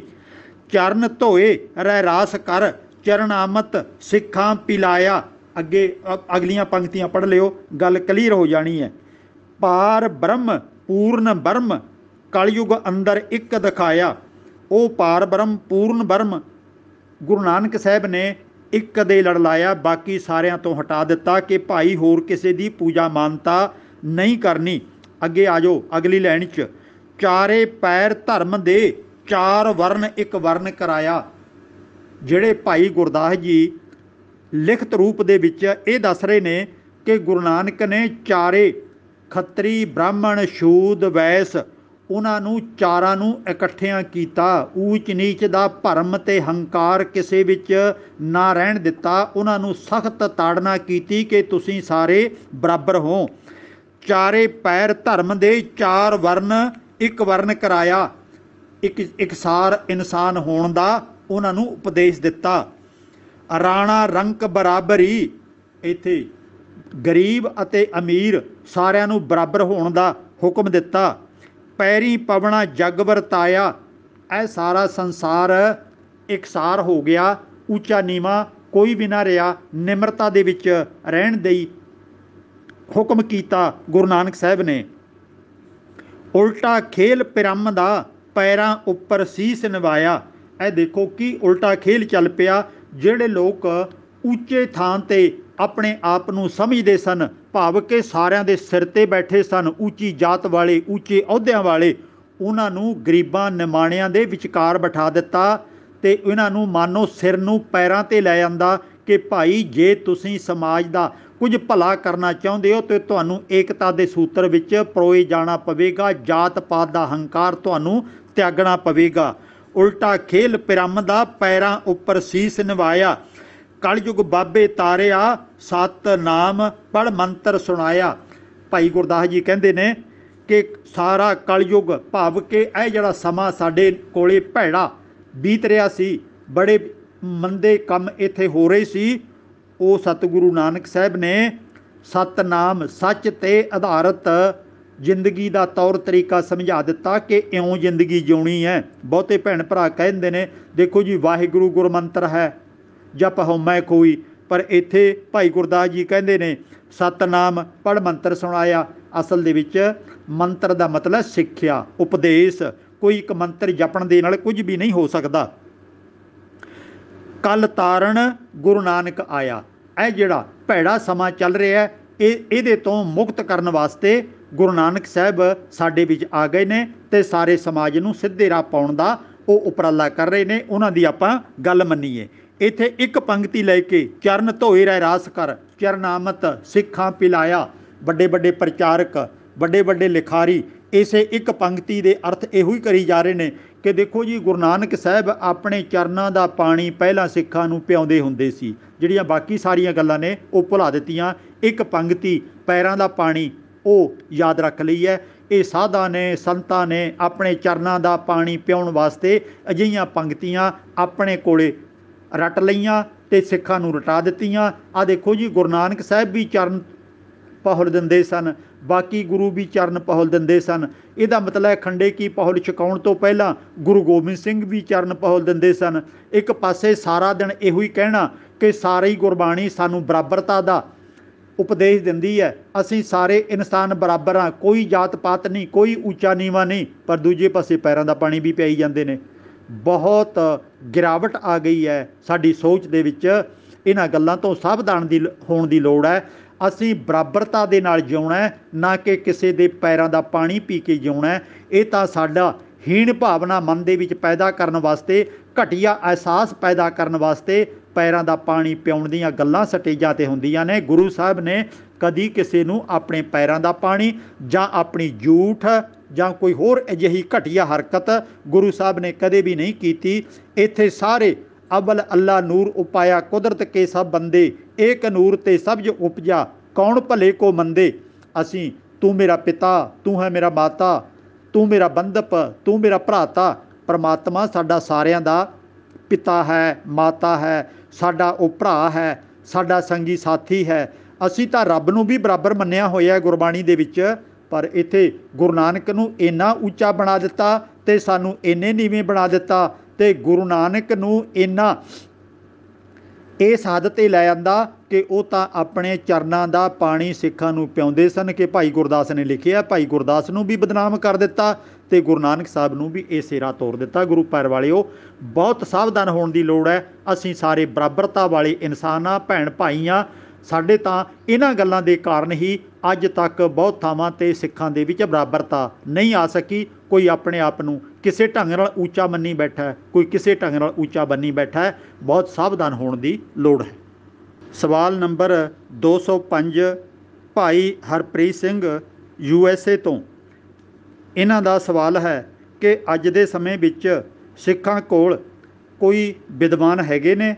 ਜੇ ਹੈਗੇ ਨੇ, ਤਾਂ ਉਹ ਇਕੱਠੇ ਕਿਉਂ ਨਹੀਂ ਹੁੰਦੇ? ਵਿਦਵਾਨਾਂ ਦੀ ਇਸ ਲਾਪਰਵਾਹੀ ਦੇ ਕਾਰਨ ਸਾਰੇ ਮਸਲੇ ਅਧੂਰੇ ਰਹਿ ਜਾਂਦੇ ਨੇ। ਗੁਰੂ ਪਿਆਰ ਵਾਲਿਓ, ਸਵਾਲ ਤੁਹਾਡਾ ਬਹੁਤ ਅੱਛਾ ਹੈ। ਇਹਨੂੰ ਅਮਲੀ ਜਾਮਾ ਪਹਿਨਾਉਣਾ ਬਹੁਤ ਔਖਾ ਹੈ। ਕਿਉਂ? ਕਿਉਂਕਿ ਵਿਅਕਤੀਗਤ ਤੌਰ ਤੇ ਅਸੀਂ ਚਾਹੁੰਦੇ ਹਾਂ ਕਿ ਸਾਡੇ ਸਾਰੇ ਮਸਲੇ ਹੱਲ ਹੋ ਜਾਣ, ਪਰ ਸਾਡੇ ਕੋਲੇ ਸਾਧਨ ਨਹੀਂ ਹੈਗੇ। ਅਸੀਂ ਆਪ ਤਾਂ ਸਟੱਡੀ ਕਰ ਸਕਦੇ ਹਾਂ। ਸਾਡਾ ਕੌਮੀ ਤੌਰ ਤੇ ਜਦੋਂ ਅਸੀਂ ਸਟੱਡੀ ਕਰ ਲਈ, ਫਿਰ ਤਾਂ ਕੁਝ ਆਸ ਕੀਤੀ ਜਾ ਸਕਦੀ ਹੈ ਕਿ ਪੜ੍ਹੇ ਲਿਖੇ ਲੋਕਾਂ ਦੇ ਵਿੱਚੋਂ ਕੋਈ ਪੜ੍ਹਿਆ ਲਿਖਾ ਲੀਡਰ ਦੂਰ ਅੰਦੇਸ਼ ਲੀਡਰ ਆ ਜਾਵੇ। ਨਹੀਂ ਤੇ ਹਾਲ ਦੀ ਘੜੀ ਸਾਡੀ ਕੌਮ ਸਾਡੇ ਸਿੱਖ ਭੈਣ ਭਾਈ ਬਹੁਤ ਪਛੜ ਚੁੱਕੇ ਨੇ। ਇੱਥੇ ਮੈਂ ਇੱਕ ਦੋ ਉਦਾਹਰਣਾਂ ਦੇਣੀਆਂ ਚਾਹਾਂਗਾ। ਨਹਿਰੂ ਨੇ ਤੇ ਗਾਂਧੀ ਨੇ ਕੋਈ ਮੋਰਚੇ ਨਹੀਂ ਲਾਏ, ਪਰ ਅਕਲਬੰਦੀ ਦੇ ਕਾਰਨ ਅੰਗਰੇਜ਼ਾਂ ਤੋਂ ਉਹਨਾਂ ਨੇ ਬਹੁਤ ਕੁਝ ਲੈ ਲਿਆ, ਬਹੁਤ ਕੁਝ ਲੈ ਲਿਆ, ਆਪਣੇ ਲੋਕਾਂ ਨੂੰ ਮਰਵਾਇਆ ਨਹੀਂ, ਪਰ ਨੀਤੀਵਾਨ ਹੋਣ ਦਾ ਉਹਨਾਂ ਨੇ ਵੱਡਾ ਸਬੂਤ ਦੁਨੀਆ ਦੇ ਸਾਹਮਣੇ ਰੱਖ ਦਿੱਤਾ। ਆਪਣੇ ਦੇਸ਼ ਵਾਸਤੇ ਉਹਨਾਂ ਨੇ ਬਹੁਤ ਕੁਝ ਅੰਗਰੇਜ਼ਾਂ ਕੋਲੋਂ ਬਿਨਾਂ ਲੜਾਈ ਤੋਂ ਪ੍ਰਾਪਤ ਕਰ ਲਿਆ। ਇਸੇ ਤਰ੍ਹਾਂ ਮੁਹੰਮਦ ਅਲੀ ਜਨਾਹ ਨੇ ਕੋਈ ਵੱਡੀ ਜੰਗ ਅੰਗਰੇਜ਼ਾਂ ਦੇ ਵਿਰੁੱਧ ਨਹੀਂ ਲੜੀ, ਮੋਰਚੇ ਨਹੀਂ ਲਾਏ। ਉਹਨੇ ਆਪਣੀ ਸਿਆਣਪ ਦੇ ਨਾਲ ਅੰਗਰੇਜ਼ਾਂ ਤੋਂ ਪਾਕਿਸਤਾਨ ਅਤੇ ਬੰਗਲਾਦੇਸ਼ ਅਲੱਗ ਪ੍ਰਾਪਤ ਕਰ ਲਏ। ਇਸੇ ਤਰ੍ਹਾਂ ਡਾਕਟਰ ਅੰਬੇਦਕਰ ਜੀ ਨੇ ਕੋਈ ਹਥਿਆਰਬੰਦ ਲੜਾਈ ਨਹੀਂ ਲੜੀ, ਪਰ ਆਪਣੀ ਸਿਆਣਪ ਦੇ ਨਾਲ, ਦੂਰਅੰਦੇਸ਼ੀ ਦੇ ਨਾਲ ਅੰਗਰੇਜ਼ਾਂ ਦੇ ਸਾਹਮਣੇ ਆਪਣੇ ਲੋਕਾਂ ਦਾ ਪੱਖ ਰੱਖਿਆ ਕਿ ਸਾਨੂੰ ਕਿਵੇਂ ਪੈਰਾਂ ਥੱਲੇ ਲਤਾੜਿਆ ਗਿਆ, ਸਦੀਆਂ ਤੋਂ ਪਛਾੜਿਆ ਗਿਆ, ਸਾਡੇ ਅਧਿਕਾਰ ਖੋਹ ਲਏ ਗਏ ਨੇ। ਸਾਨੂੰ ਰਾਖਵਾਂ ਕਰਨ ਦਾ ਕੋਈ ਅਧਿਕਾਰ ਦਿੱਤਾ ਜਾਵੇ, ਸਾਨੂੰ ਵੀ ਬਰਾਬਰ ਦੇ ਇਨਸਾਨ ਮੰਨਿਆ ਜਾਵੇ। ਇਹ ਸਾਰੀਆਂ ਚੀਜ਼ਾਂ ਜੇ ਤੁਸੀਂ ਨਹੀਂ ਮੰਨੋਗੇ, ਤਾਂ ਅਸੀਂ ਗਾਂਧੀ ਅਤੇ ਨਹਿਰੂ ਦੇ ਨਾਲ ਇਸ ਦੇਸ਼ ਦੇ ਵਿੱਚ ਨਹੀਂ ਰਵਾਂਗੇ, ਅਸੀਂ ਕੁਝ ਹੋਰ ਤਰੀਕਾ ਅਪਣਾਵਾਂਗੇ।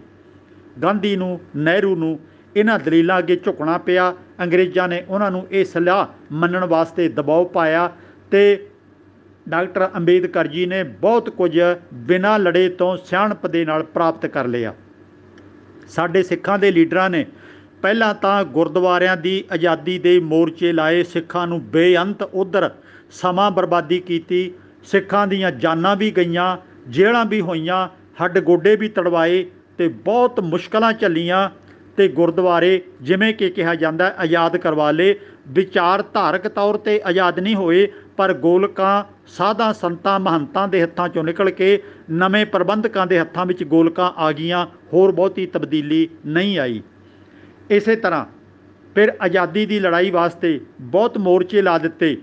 ਸਾਡੀ ਗਿਣਤੀ ਬਹੁਤ ਥੋੜੀ ਪਰ ਮੋਰਚੇ ਦੋਹਰੇ ਤੇਰੇ ਲੱਗੇ ਹੋਏ।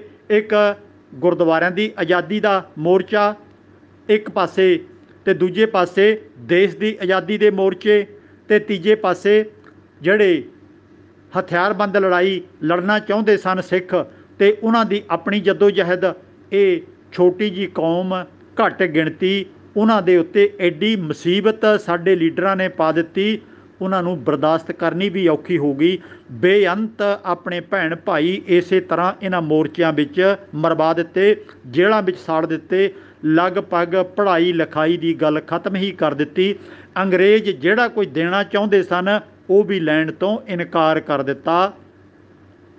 ਗਾਂਧੀ ਨਹਿਰੂ ਦੇ ਨਾਲ ਜ਼ਬਾਨੀ ਤੌਰ ਤੇ ਵਾਅਦੇ ਕਰਵਾ ਲਏ। ਲਿਖਤੀ ਰੂਪ ਦੇ ਵਿੱਚ ਕੋਈ ਵਾਅਦੇ ਉਹਨਾਂ ਤੋਂ ਨਹੀਂ ਕਰਵਾਏ ਗਏ ਕਿ ਸਾਨੂੰ ਕੀ ਚਾਹੀਦਾ ਅਤੇ ਅਸੀਂ ਕਿਹੜੀ ਚੀਜ਼ ਦੇ ਆਸਵੰਦ ਹਾਂ? ਤੁਹਾਡੇ ਕੋਲੋਂ ਜੇ ਸਾਡੇ ਵਿਦਵਾਨ ਵੱਡੇ ਪੱਧਰ ਤੇ ਕੋਈ ਕਾਰਜ ਕਰਦੇ, ਹਿੱਸਾ ਲੈਂਦੇ ਇਸ ਆਜ਼ਾਦੀ ਦੀ ਲੜਾਈ ਵਿੱਚ, ਤਾਂ ਉਹ ਸਾਡੇ ਰਾਜਨੀਤਿਕ ਲੀਡਰਾਂ ਨੂੰ ਯੋਗ ਸਮੇਂ ਤੇ ਸਲਾਹ ਦਿੰਦੇ ਰਹਿੰਦੇ ਤਾਂ ਕਿ ਅਸੀਂ ਸਿੱਖ ਕੁਝ ਆਜ਼ਾਦੀ ਦੇ ਵਿੱਚ ਪ੍ਰਾਪਤ ਕਰ ਸਕਦੇ। ਆਜ਼ਾਦੀ ਮਿਲੀ ਨੂੰ ਵੀ 75 ਸਾਲ ਦੇ ਨੇੜੇ ਤੇੜੇ ਹੋ ਗਏ ਨੇ। ਤੇ ਅੱਜ ਤੱਕ ਵੀ ਸਿੱਖ ਲੀਡਰ ਸਿੱਖਾਂ ਵਾਸਤੇ ਕੋਈ ਵੱਡੇ ਦਰਜੇ ਦੇ ਕਾਰਜ ਨਹੀਂ ਕਰ ਸਕੇ। ਉਹੀ ਸਾਰੀਆਂ ਘਸੀਆਂ ਪਿਟੀਆਂ ਗੱਲਾਂ ਲਗਾਤਾਰ ਸਟੇਜਾਂ ਤੇ ਹੁੰਦੀਆਂ ਨੇ, ਚੋਣਾਂ ਚੋਂ ਵੋਟਾਂ ਹਾਸਲ ਕਰ ਲਈਆਂ ਜਾਂਦੀਆਂ ਨੇ, ਗੱਦੀਆਂ ਤੇ ਬੈਠ ਜਾਂਦੇ ਨੇ ਤੇ ਸਭ ਕੁਝ ਭੁੱਲ ਭੁਲਾ ਜਾਂਦਾ ਹੈ। ਤੇ ਅਕਾਲ ਤਖਤ ਨੂੰ ਬਹੁਤ ਮਹਾਨ ਕਿਹਾ ਜਾਂਦਾ ਹੈ, ਜਥੇਦਾਰ ਦੇ ਨਾਲ ਬਹੁਤ ਕੁਝ ਜੋੜਿਆ ਜਾਂਦਾ ਹੈ, ਪਰ ਜਥੇਦਾਰ ਅੱਜ ਤੱਕ ਲੀਡਰਾਂ ਨੂੰ ਆਪਣੀ ਕੋਈ ਧਰਮ ਦੀ ਗੱਲ ਨਹੀਂ ਬਣਵਾ ਸਕਿਆ, ਬਲਕਿ ਰਾਜਨੀਤਿਕ ਲੀਡਰ ਹੀ ਅਕਾਲ ਤਖਤ ਦੇ ਜਥੇਦਾਰ ਅਤੇ ਹੋਰਨਾਂ ਜਥੇਦਾਰਾਂ ਨੂੰ ਲਾਉਂਦੇ ਨੇ ਅਤੇ ਹਟਾਉਂਦੇ ਨੇ। ਉਹਨਾਂ ਦੀ ਕਠਪੂਤਲੀ ਬਣ ਕੇ ਜਥੇਦਾਰ ਕੰਮ ਕਰਦੇ ਨੇ। ਜਥੇਦਾਰ ਨੂੰ ਚਾਹੀਦਾ ਸੀ ਕਿ ਉਹ ਵਿਦਵਾਨਾਂ ਦੀ ਟੀਮ ਬਣਾਉਂਦੇ। ਖਰਚਾ ਸ਼੍ਰੋਮਣੀ ਕਮੇਟੀ ਵੱਲੋਂ ਕੀਤਾ ਜਾਂਦਾ। ਉਹਨਾਂ ਨੂੰ ਲੋੜੀਂਦੀਆਂ ਗੁਜ਼ਾਰੇ ਲੈ ਕੇ ਤਨਖਾਹਾਂ ਦਿੱਤੀਆਂ ਜਾਂਦੀਆਂ। ਉਹਨਾਂ ਦੇ ਕੰਮ ਕਰਨ ਵਾਸਤੇ ਦਫ਼ਤਰ ਬਣਾਏ ਜਾਂਦੇ, ਖੋਜ ਦੇ ਜਿਹੜੇ ਸਾਧਨ ਨੇ, ਉਹ ਪੈਦਾ ਕੀਤੇ ਜਾਂਦੇ, ਉਹਨਾਂ ਦੇ ਨਾਲ ਸਹਾਇਕ ਨੌਜਵਾਨ ਦਿੱਤੇ ਜਾਂਦੇ ਤੇ ਫਿਰ ਜਿਵੇਂ ਜਿਵੇਂ ਉਹ ਕੰਮ ਕਰਦੇ, ਉਹਦਾ ਕੇਂਦਰੀ ਵਿਚਾਰਧਾਰਾ ਲੱਭ ਕੇ ਕੁਝ ਸਿੱਖ ਸਮ- ਸਮਾਜ ਦੇ ਸਾਹਮਣੇ ਰੱਖਿਆ ਜਾਂਦਾ ਕਿ ਭਾਈ ਸਾਡੀਆਂ ਆਹ ਮੁਸ਼ਕਲਾਂ ਨੇ, ਅਸੀਂ ਅਜਿਹੇ ਕੰਮ ਕਰ ਰਹੇ ਹਾਂ, ਤੁਸੀਂ ਸਾਡਾ ਸਾਥ ਦਿਓ। 1995 ਦੇ ਵਿੱਚ ਵਿਸ਼ਵ ਸਿੱਖ ਸੰਮੇਲਨ ਅੰਮ੍ਰਿਤਸਰ ਦੇ ਵਿੱਚ ਕੀਤਾ ਗਿਆ। ਬੜੇ ਮਤੇ ਪਾਸ ਹੋਏ, ਪਰ ਉਹਦੀ ਪ੍ਰਾਪਤੀ ਧੇਲੇ ਦੀ ਨਹੀਂ ਹੋਈ। ਕਰੋੜਾਂ ਅਰਬਾਂ ਰੁਪਈਆ ਉਹਦੇ ਤੇ ਉਜਾੜ ਦਿੱਤਾ ਗਿਆ ਤੇ ਜਥੇਦਾਰ ਵੀ ਵਿੱਚੇ ਸ਼ਾਮਲ ਸਨ, ਵਿਦਵਾਨ ਵੀ ਵਿੱਚੇ ਸ਼ਾਮਲ ਸਨ ਤੇ ਅਕਾਲ ਤਖਤ ਦੇ ਅਤੇ ਰਾਜਨੀਤੀ ਦੇ ਜਿਹੜੇ ਲੀਡਰ ਸਨ, ਉਹ ਵੀ ਸਾਰੇ ਵਿੱਚ ਸ਼ਾਮਲ ਸਨ। ਅਰਬਾਂ ਰੁਪਈਆ ਉਜੜ ਗਿਆ, ਪ੍ਰਾਪਤੀ ਕੋਈ ਵੀ ਨਹੀਂ ਹੋਈ। ਵਿਸ਼ਵ ਸਿੱਖ ਕੌਂਸਲ ਬਣਾਈ ਗਈ ਸੀ। ਸਰਦਾਰ ਕੁਲਦੀਪ ਸਿੰਘ, ਰਿਟਾਇਰ ਜੱਜ, ਉਹਦੇ ਕਨਵੀਨਰ ਬਣਾਏ ਗਏ ਸਨ। ਉਹਨਾਂ ਨੇ ਬੜੇ ਸੁਚੱਜੇ ਢੰਗ ਨਾਲ ਉਹ ਸਾਰੇ ਕਾਰਜ ਨੂੰ ਅੱਗੇ ਤੋਰਿਆ ਸੀ, ਪਰ ਉਹਨੂੰ ਵੀ ਰਾਜਨੀਤਿਕ ਲੋਕਾਂ ਨੇ ਫੇਲ ਕਰ ਦਿੱਤਾ ਤੇ ਇਸ ਤਰ੍ਹਾਂ ਵਿਦਵਾਨਾਂ ਨੂੰ ਵੀ ਇਹ ਰਾਜਨੀਤਿਕ ਲੋਕ ਅਪਮਾਨਿਤ ਕਰਦੇ ਨੇ ਤੇ ਰਾਜਨੀਤਿਕ ਲੋਕਾਂ ਤੋਂ ਵੱਖ ਹੋ ਕੇ ਜਿਹੜੇ ਵਿਦਵਾਨ ਲੋਕ ਨੇ, ਇਹ ਵੱਖਰੀ ਟੀਮ ਬਣਾਉਣ ਤੋਂ ਅਸਮਰੱਥ ਨੇ, ਕਿਉਂਕਿ ਇਹਨਾਂ ਕੋਲੇ ਆਪਣੇ ਗੁਜ਼ਾਰੇ ਦਾ ਨੌਕਰੀ ਵਗੈਰਾ ਤਾਂ ਹੁੰਦੀ ਹੈ, ਪਰ ਵਾਧੂ ਸਮਾਂ ਕੱਢ ਕੇ ਵਾਧੂ ਖਰਚਾ ਕਰਕੇ ਕੋਈ ਵੱਖਰੀ ਟੀਮ ਖੜੀ ਕਰ ਲੈਣ, ਇਹਨਾਂ ਦੇ ਵੱਸ ਦਾ ਕੰਮ ਨਹੀਂ ਹੋਇਆ, ਕਿਉਂਕਿ ਪੜ੍ਹੇ ਲਿਖੇ ਲੋਕ ਆਮ ਤੌਰ ਤੇ ਸਰਕਾਰੀ ਜਾਂ ਗੈਰ ਸਰਕਾਰੀ ਨੌਕਰੀਆਂ ਤੇ ਲੱਗ ਜਾਂਦੇ ਨੇ, ਨੌਕਰੀ ਕਰਨ ਵਾਲੇ ਬੰਦੇ, ਫਿਰ ਸਾਰੇ ਸਮਾਜ ਦਾ ਸਾਂਝਾ ਕੰਮ ਉਹ ਕਰਨ ਤੋਂ ਅਸਮਰੱਥ ਹੋ ਜਾਂਦੇ ਨੇ। ਅੱਜ ਵੀ ਲੋੜ ਹੈ ਇਸ ਗੱਲ ਦੀ ਕਿ ਸਾਡੇ ਤਖਤਾਂ ਦੇ ਜਥੇਦਾਰ ਚੋਟੀ ਦੇ ਵਿਦਵਾਨਾਂ ਨੂੰ ਆਪਣੇ ਨਾਲ ਜੋੜ ਕੇ, ਸਾਹਿਤ ਵਿੱਚ ਇਤਿਹਾਸ ਵਿੱਚ, ਗੁਰਬਾਣੀ ਦੇ ਅਰਥਾਂ ਵਿੱਚ ਫਿਲਾਸਫੀ ਵਿੱਚ, ਰਾਜਨੀਤੀ ਵਿੱਚ ਜੋ ਕੰਮ ਹੋਣ ਵਾਲੇ ਨੇ ਵਿਦਵਾਨਾਂ ਰਾਹੀਂ, ਉਹ ਕਿਤਾਬਾਂ ਲਿਖਵਾਈਆਂ ਜਾਣ ਟੀਵੀ ਚੈਨਲਾਂ ਰਾਹੀਂ ਉਹਦਾ ਪ੍ਰਚਾਰ ਕੀਤਾ ਜਾਵੇ, ਰੇਡੀਓ ਅਤੇ ਟੀਵੀ ਅੱਜ ਸਾਡੇ ਵੱਡੇ ਮਾਧਿਅਮ ਨੇ ਸਟੇਜਾਂ ਤੇ ਬੋਲਣ ਵਾਸਤੇ ਨੌਜਵਾਨ ਤਿਆਰ ਕੀਤੇ ਜਾਣ, ਤਾਂ ਇਹ ਸਾਰਾ ਕੁਝ ਜੇ ਹੋਵੇ ਤਾਂ ਸੰਗਤਾਂ ਤੱਕ ਪਹੁੰਚਾਇਆ ਜਾਵੇ, ਤਾਂ ਸੰਗਤਾਂ ਨੂੰ ਕੋਈ ਜਾਗਰਤੀ ਆਵੇ, ਤਾਂ ਇਸ ਤਰ੍ਹਾਂ ਸਾਡਾ ਕੁਝ ਨਾ ਕੁਝ ਆਉਣ ਵਾਲਾ ਸਮਾਂ ਭਵਿੱਖ ਸੁਧਰ ਸਕਦਾ ਹੈ ਤੇ ਨਹੀਂ ਤਾਂ ਸਾਰੇ ਮਸਲੇ ਥਾਂ ਥਾਈ ਰਹਿ ਜਾਂਦੇ ਨੇ ਤੇ ਵਿਦਵਾਨ ਆਪਸ ਦੇ ਵਿੱਚ ਇਕੱਠੇ ਨਹੀਂ ਹੋ ਸਕਣਗੇ ਕਿਉਂਕਿ ਉਹਨਾਂ ਨੇ ਤਾਂ ਆਪੋ ਆਪਣੀਆਂ ਥਾਵਾਂ ਤੇ ਨੌਕਰੀਆਂ ਕਰਨੀਆਂ ਨੇ। ਉਹ ਕੋਈ ਵੱਖਰੀ ਕਿਸਮ ਦਾ ਕਾਰਜ ਨਹੀਂ ਕਰ ਸਕਣਗੇ, ਜਿਹੜੇ ਸ਼੍ਰੋਮਣੀ ਗੁਰਦੁਆਰਾ ਪ੍ਰਬੰਧਕ ਕਮੇਟੀ ਅਤੇ ਹੋਰ ਦੁ- ਗੁਰਦੁਆਰਾ ਕਮੇਟੀਆਂ ਨੇ, ਜਿਨ੍ਹਾਂ ਕੋਲੇ ਕਰੋੜਾਂ ਅਰਬਾਂ ਰੁਪਈਆ ਚੜਾਵੇ ਦਾ ਆ ਜਾਂਦਾ ਹੈ ਅਤੇ ਉਹਨਾਂ ਨੂੰ ਚਾਹੀਦਾ ਹੈ ਕਿ ਵਿਦਵਾਨਾਂ ਨੂੰ ਤਨਖਾਹਾਂ ਦੇ ਕੇ ਇਸ ਕੰਮ ਤੇ ਲਾਉਣ ਅਤੇ ਉਹਦੀ ਪਰਖ ਪੜਚੋਲ ਕਰਦੇ ਰਹਿਣ ਜ਼ਿਲ੍ਹੇਵਾਰ ਵੀ ਕਮੇਟੀਆਂ ਬਣਨ ਤਾਂ ਕਿ ਸਿੱਖਾਂ ਦੀ ਅਗਵਾਈ ਦਾ ਵਿਦਵਤਾ ਦੇ ਨਾਲ ਕੋਈ ਰਾਹ ਲੱਭਿਆ ਜਾ ਸਕੇ, ਸਿੱਖਾਂ ਨੂੰ ਕਿਸੇ ਚੰਗੇ ਰਾਹ ਪਾਇਆ ਜਾ ਸਕੇ, ਗੁਰਬਾਣੀ ਅਤੇ ਹੋਰ ਜਿਹੜਾ ਗਿਆਨ ਵਿਗਿਆਨ ਹੈ ਉਹ ਸਿੱਖਾਂ ਦੇ ਦਿਮਾਗ ਵਿੱਚ ਪਾਇਆ ਜਾਵੇ ਤਾਂ ਕਿ ਸਿੱਖਾਂ ਦੀ ਜਿਹੜੀ ਇੰਨੀ ਦੁਰਗਤ ਚਾਰੇ ਪਾਸੇ ਹੋਈ ਹੈ ਇਹਦੇ ਚੋਂ ਅਸੀਂ ਕੁਝ ਉੱਭਰ ਸਕੀਏ। ਨਹੀਂ ਤਾਂ ਕੋਈ ਸਾਧ ਕੋਈ ਸੰਤ ਕੋਈ ਪ੍ਰਚਾਰਕ ਕੋਈ ਬਾਬਾ ਕੋਈ ਰਾਜਨੇਤਾ ਜਿਵੇਂ ਚਾਰ ਇੱਧਰ ਉਧਰਲੀਆਂ ਗੱਲਾਂ ਸਾਨੂੰ ਸੁਣਾ ਦਿੰਦਾ ਲਾਰੇ ਲਾ ਦਿੰਦਾ ਹੈ, ਅਸੀਂ ਝਟਪਟ ਉਹਦੇ ਤੋਂ ਪ੍ਰਭਾਵਿਤ ਹੋ ਜਾਂਦੇ ਆ ਕਿਸੇ ਨੂੰ ਮੱਥੇ ਟੇਕ ਦਿੰਦੇ ਆ ਕਿਸੇ ਨੂੰ ਆਪਣਾ ਮਾਇਆ ਅਰਪਣ ਕਰ ਦਿੰਦੇ ਆ ਕਿਸੇ ਨੂੰ ਵੋਟਾਂ ਪਾ ਦਿੰਦੇ ਆ ਤੇ ਸਮਰ ਦਾ ਸਾਡਾ ਕੁਝ ਵੀ ਨਹੀਂ ਹੈ। ਨਿੱਜੀ ਤੌਰ ਤੇ ਜਿੰਨਾ ਕੁਝ ਅਸੀਂ ਕਰ ਸਕਦੇ ਹਾਂ, ਉਹ ਤਾਂ ਅੱਜ ਤੋਂ ਹੀ ਸ਼ੁਰੂ ਕਰ ਦਈਏ ਤੇ ਬਾਕੀ ਜਿਹੜੀਆਂ ਟੀਮਾਂ ਬਣਨੀਆਂ, ਇਹ ਆਉਣ ਵਾਲੇ ਸਮੇਂ 'ਚ ਉਹਦੇ ਵਾਸਤੇ ਉਪਰਾਲਾ ਕਰਦੇ ਰਹੀਏ। ਸਵਾਲ number 206 Bhai Harpreet Singh, U S A. ਇਹਨਾਂ ਦਾ ਅਗਲਾ ਸਵਾਲ ਹੈ, ਜੇਕਰ ਗੁਰੂ ਨਾਨਕ ਸਾਹਿਬ ਦੀ ਵਿਚਾਰਧਾਰਾ ਸਰਬ ਵਿਆਪੀ ਹੈ, ਤਾਂ ਅੱਜ ਦੇ ਸਿੱਖ ਅਖਵਾਉਣ ਵਾਲੇ ਲੋਕਾਂ ਦਾ ਇਸ ਵਿਚਾਰਧਾਰਾ ਤੇ ਕਬਜ਼ਾ ਕਦੋਂ ਹੋਇਆ? ਇਸ ਗੱਲ ਨੂੰ ਸਮਝਣ ਦੀ ਬਹੁਤ ਲੋੜ ਹੈ। ਸਾਡੇ ਕੋਲੇ ਹੈ ਗੁਰਬਾਣੀ ਮੌਜੂਦ। ਅਫਸੋਸ, ਸਭ ਤੋਂ ਜ਼ਿਆਦਾ ਇਸ ਗੱਲ ਦਾ ਹੈ ਕਿ ਅਸੀਂ ਗੁਰਬਾਣੀ ਪੜ੍ਹਨ ਤੋਂ ਲਗਭਗ ਇਨਕਾਰੀ ਹੋ ਗਏ ਹਾਂ। ਅੱਜ ਆਲੇ ਦੁਆਲੇ ਅਸੀਂ ਵੇਖ ਸਕਦੇ ਹਾਂ ਕਿ ਸਭ ਕੁਝ ਮਿਲ ਬ- ਮੁੱਲ ਵਿਕ ਰਿਹਾ ਹੈ। ਅੱਜ ਪਾਠ ਅਸੀਂ ਕਿਸੇ ਹੋਰ ਤੋਂ ਕਰਵਾਉਨੇ ਆ ਅੱਜ ਅਰਦਾਸਾਂ ਕੋਈ ਹੋਰ ਕਰਦਾ ਕੀਰਤਨ ਕੋਈ ਹੋਰ ਕਰਦਾ ਹੈ ਤੇ ਪੈਸੇ ਦੇ ਕੇ ਉਹਦਾ ਫਲ ਖਰੀਦਣ ਦਾ ਅਡੰਬਰ ਰਚਿਆ ਜਾਂਦਾ ਹੈ। ਜੇ ਸਿੱਖ ਆਪ ਗੁਰਬਾਣੀ ਨੂੰ ਪੜ੍ਹਦੇ, ਇਹਨੂੰ ਵਿਚਾਰਦੇ, ਆਪਣੀ ਜ਼ਿੰਦਗੀ 'ਚ ਲਾਗੂ ਕਰਦੇ, ਤਾਂ ਇਹ ਹਾਲਤ ਸਿੱਖਾਂ ਦੀ ਨਹੀਂ ਹੋਣੀ ਸੀ। ਹੁਣ ਜਿਹੜਾ ਵਿਚਾਰਧਾਰਾ ਤੇ ਕਬਜ਼ਾ ਕਿਵੇਂ ਹੋ ਗਿਆ? ਪਹਿਲਾਂ ਇਹਨਾਂ ਨੇ ਜਦੋਂ ਆਖਿਆ ਸੀ ਕਿ ਇਹ ਵਿਚਾਰਧਾਰਾ ਤਾਂ ਸਰਵਵਿਆਪੀ ਹੈ, ਸਰਵਵਿਆਪੀ ਦਾ ਮਤਲਬ ਹੈ ਸਾਰੀ ਦੁਨੀਆ 'ਚ ਫੈਲ ਸਕਦੀ ਹੈ, ਪਰ ਜੇ ਇਹਨੂੰ ਫੈਲਾਉਣ ਦੇ ਅਸੀਂ ਸਾਧਨ ਪੈਦਾ ਕਰ ਸਕੀਏ ਤਾਂ ਆਪਾਂ ਦੁਨੀਆ ਦੀ ਗੱਲ ਛੱਡੀਏ, ਸਿੱਖਾਂ ਦੇ ਵਿੱਚ ਹੀ ਇਹਨੂੰ ਅਸੀਂ ਅੱਜ ਤੱਕ ਵਿਚਾਰਧਾਰਾ ਨੂੰ ਨਹੀਂ ਪਹੁੰਚਾ ਸਕੇ, ਕਿਉਂਕਿ ਸਿੱਖ ਇਹਨੂੰ ਮੱਥੇ ਤਾਂ ਬਹੁਤ ਟੇਕਦੇ ਨੇ, ਭੇਟਾ ਪੂਜਾ ਤੇ ਬਹੁਤ ਕਰਦੇ ਨੇ, ਤੇ ਪਰ ਇਹਦੇ ਵਿੱਚ ਲਿਖਿਆ ਕੀ ਹੈ? ਉਹਦੇ ਬਾਰੇ ਕੁਝ ਵੀ ਪਤਾ ਨਹੀਂ ਹੈ ਆਮ ਸਿੱਖ ਨੂੰ। ਦਰਬਾਰ ਸਾਹਿਬ ਜੀ ਨੂੰ ਸਭ ਤੋਂ ਵੱਡਾ ਥਾਂ ਆਖਿਆ ਜਾਂਦਾ ਹੈ ਤੇ ਉੱਥੇ ਗੁਰੂ ਗ੍ਰੰਥ ਸਾਹਿਬ ਦੀ ਤਰ੍ਹਾਂ ਤਰ੍ਹਾਂ ਦੇ ਚਮਕਦਾਰ ਕਢਾਈ ਵਾਲੇ ਜਿਵੇਂ ਕਿ ਨਵ ਵਿਆਹੀਆਂ ਬੋਟੀਆਂ ਦੁਲਹਣਾ ਹੁੰਦੀਆਂ ਨੇ। ਉਸ ਤਰ੍ਹਾਂ ਗੁਰੂ ਗ੍ਰੰਥ ਸਾਹਿਬ ਨੂੰ ਚਮਕਦਾਰ ਕਢਾਈ ਵਾਲੇ ਲਾਲ ਪੀਲੇ ਰਮਾਲਿਆਂ ਨਾਲ ਸਜਾ ਕੇ ਰੱਖਿਆ ਜਾਂਦਾ ਹੈ। ਫੁੱਲਾਂ ਦੀਆਂ ਮਾਲਾਵਾਂ ਤਰ੍ਹਾਂ ਤਰ੍ਹਾਂ ਦੇ ਡਿਜ਼ਾਈਨ ਬਣਾ ਕੇ ਤਾਂ ਉੱਥੇ ਰੱਖੀਆਂ ਜਾਂਦੀਆਂ ਨੇ। ਤਰ੍ਹਾਂ ਤਰ੍ਹਾਂ ਦੇ ਪੁਜਾਰੀ ਉੱਥੇ ਖੜੇ ਕੀਤੇ ਜਾਂਦੇ ਨੇ, ਤਾਬੇ ਬਿਠਾਏ ਜਾਂਦੇ ਨੇ, ਕੀਰਤਨ ਵੀ ਕਰਵਾਇਆ ਜਾਂਦਾ ਹੈ। ਪਰ ਗੁਰੂ ਨਾਨਕ ਦੀ ਵਿਚਾਰਧਾਰਾ ਉੱਥੇ ਨਹੀਂ ਹੈ, ਨਹੀਂ ਦੱਸਿਆ ਜਾਂਦਾ ਕਿ ਗੁਰਬਾਣੀ ਸਾਨੂੰ ਕੀ ਕਹਿੰਦੀ ਹੈ। ਜਿਹੋ ਜਿਹਾ ਕੋਈ ਦਿਨ ਹੁੰਦਾ ਉਹਦੇ ਅਨੁਸਾਰ ਉੱਥੇ ਸ਼ਬਦ ਗਾ ਦਿੱਤੇ ਜਾਂਦੇ ਨੇ ਤੇ ਰਾਗੀ ਸਿੰਘ ਆਪਣਾ ਸਮਾਂ ਪੂਰਾ ਕਰਕੇ ਚਲੇ ਜਾਂਦੇ ਨੇ। ਤੇ ਇਸੇ ਤਰ੍ਹਾਂ ਹੋਰਨਾਂ ਗੁਰਦੁਆਰਿਆਂ 'ਚ ਵੀ ਇਹ ਸਾਰਾ ਕੁਝ ਵਾਪਰ ਰਿਹਾ ਹੈ। ਜੇ ਇਹ ਵਿਚਾਰਧਾਰਾ ਸਰਬ ਵਿਆਪੀ ਸਿੱਖ ਸਮਝਦੇ, ਤਾਂ ਇਹਨੂੰ ਸਾਰੇ ਕਿਤੇ ਲਾਗੂ ਕਰਨ ਦਾ, ਇਹਨੂੰ ਸਮਝਾਉਣ ਦਾ ਉਪਰਾਲਾ ਕਰਦੇ। ਤੇ ਇਥੇ ਇਹਦਾ ਕਬਜ਼ਾ ਤਾਂ ਦੂਜੀਆਂ ਧਿਰਾਂ ਨੇ ਗੁਰੂ ਨਾਨਕ ਸਾਹਿਬ ਦੇ ਸਮੇਂ ਤੋਂ ਹੀ ਕਰਨਾ ਸ਼ੁਰੂ ਕਰ ਦਿੱਤਾ ਸੀ। ਕਿਉਂਕਿ ਬਹੁਤ ਲੋਕਾਂ ਦਾ ਹਲਵਾ ਮੰਡਾ ਬੰਦ ਹੁੰਦਾ ਸੀ। ਉਹਨਾਂ ਦੀ ਚੌਧਰ ਖੁਸਦੀ ਸੀ। ਉਹਨਾਂ ਦੀ ਪੂਜਾ ਮਾਨਤਾ ਨਹੀਂ ਹੋਣੀ ਸੀ। ਉਹਨਾਂ ਦੇ ਉੱਚੇ ਰੁਤਬੇ ਖਤਮ ਹੋਣੇ ਸੀ। ਉਹਨਾਂ ਦੇ ਤੀਰਥ, ਉਹਨਾਂ ਦੀਆਂ ਮੂਰਤੀਆਂ, ਉਹਨਾਂ ਦੀ ਸ਼ਖਸੀਅਤ ਉਹ ਖਤਮ ਹੁੰਦੀ ਜਾ ਰਹੀ ਸੀ। ਗੁਰੂ ਨਾਨਕ ਸਾਹਿਬ ਸਾਰੇ ਇਨਸਾਨਾਂ ਨੂੰ ਬਰਾਬਰ ਮੰਨ ਰਹੇ ਸੀ। ਇੱਕ ਨਿਰੰਕਾਰ, ਜਿਹੜੇ ਦਾ ਆਕਾਰ ਕੋਈ ਨਹੀਂ, ਜਿਹੜਾ ਜਨਮ ਨਹੀਂ ਲੈਂਦਾ, ਉਹਨੂੰ ਮੰਨਣ ਵਾਸਤੇ ਗੁਰਬਾਣੀ ਉਪਦੇਸ਼ ਦੇ ਰਹੀ ਸੀ, ਪਰ ਇਸ ਵਿਚਾਰਧਾਰਾ ਨੂੰ ਤਾਂ ਪਹਿਲਾਂ ਸ਼੍ਰੀ ਚੰਦ ਨੇ ਹੀ ਵੱਡੀ ਢਾਲ ਲਾ ਦਿੱਤੀ ਤੇ ਉਹ ਵੀ ਗੁਰੂ ਨਾਨਕ ਦੇ ਪਦ ਚਿੰਨਾਂ ਤੇ ਨਹੀਂ ਚੱਲ ਸਕਿਆ। ਇਹ ਤਾਂ ਸ਼ੁਕਰ ਹੈ, ਗੁਰੂ ਅੰਗਦ ਸਾਹਿਬ ਵਰਗੇ ਮਹਾਪੁਰਖ ਗੁਰੂ ਨਾਨਕ ਦੇ ਸੇਵਾ 'ਚ ਹਾਜ਼ਰ ਹੋ ਗਏ ਤੇ ਉਹਨਾਂ ਨੇ ਉਸ ਵਿਚਾਰਧਾਰਾ ਨੂੰ ਅੱਗੇ ਤੋਰਨ ਦਾ ਬੀੜਾ ਚੁੱਕ ਲਿਆ ਤੇ ਅੱਗੋਂ ਇਸੇ ਤਰ੍ਹਾਂ ਚੱਲਦੇ ਚੱਲਦੇ ਕਿਤੇ ਮੋਹਣ ਤੇ ਮੋਹਰੀ, ਕਿਤੇ ਦਾਤੂ ਤੇ ਦਾਸੂ ਕਿਤੇ ਪ੍ਰਿਥੀ ਚੰਦ ਅਤੇ ਕਿਤੇ ਧੀਰਮਲ ਇਹ ਬਹੁਤ ਸਾਰਾ ਸਿਲਸਿਲਾ ਅੱਗੇ ਤੋਂ ਅੱਗੇ ਚੱਲਦਾ ਰਿਹਾ।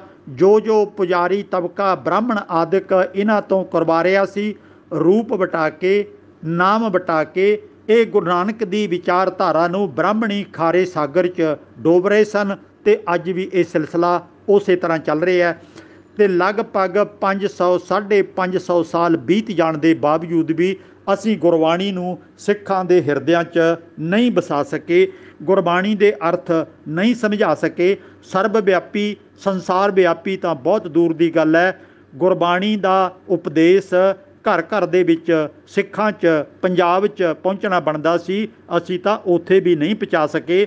ਮੈਂ ਤਾਂ ਨਿੱਜੀ ਤਜਰਬੇ ਦੇ ਤੌਰ ਤੇ ਇਹ ਤੁਹਾਨੂੰ ਦੱਸ ਸਕਦਾ, ਇੱਥੇ ਤਾਂ ਵੱਡੇ ਵੱਡੇ ਪ੍ਰਚਾਰਕ ਨੇ ਜਿਹੜੇ ਉਹ ਵੀ ਸਪਸ਼ਟ ਨਹੀਂ ਹੈਗੇ ਤੇ ਬਹੁਤ ਸਾਰੀਆਂ ਗੱਲਾਂ ਦੇ ਵਿੱਚ ਉਲਝੇ ਹੋਏ ਨੇ। ਕਈ ਸਾਰੀਆਂ ਚੀਜ਼ਾਂ ਵਿਚਾਰਧਾਰਾ ਤੋਂ ਉਲਟ ਸਟੇਜਾਂ ਦੇ ਉੱਤੇ ਸੁਣਾਈ ਜਾਂਦੇ ਨੇ।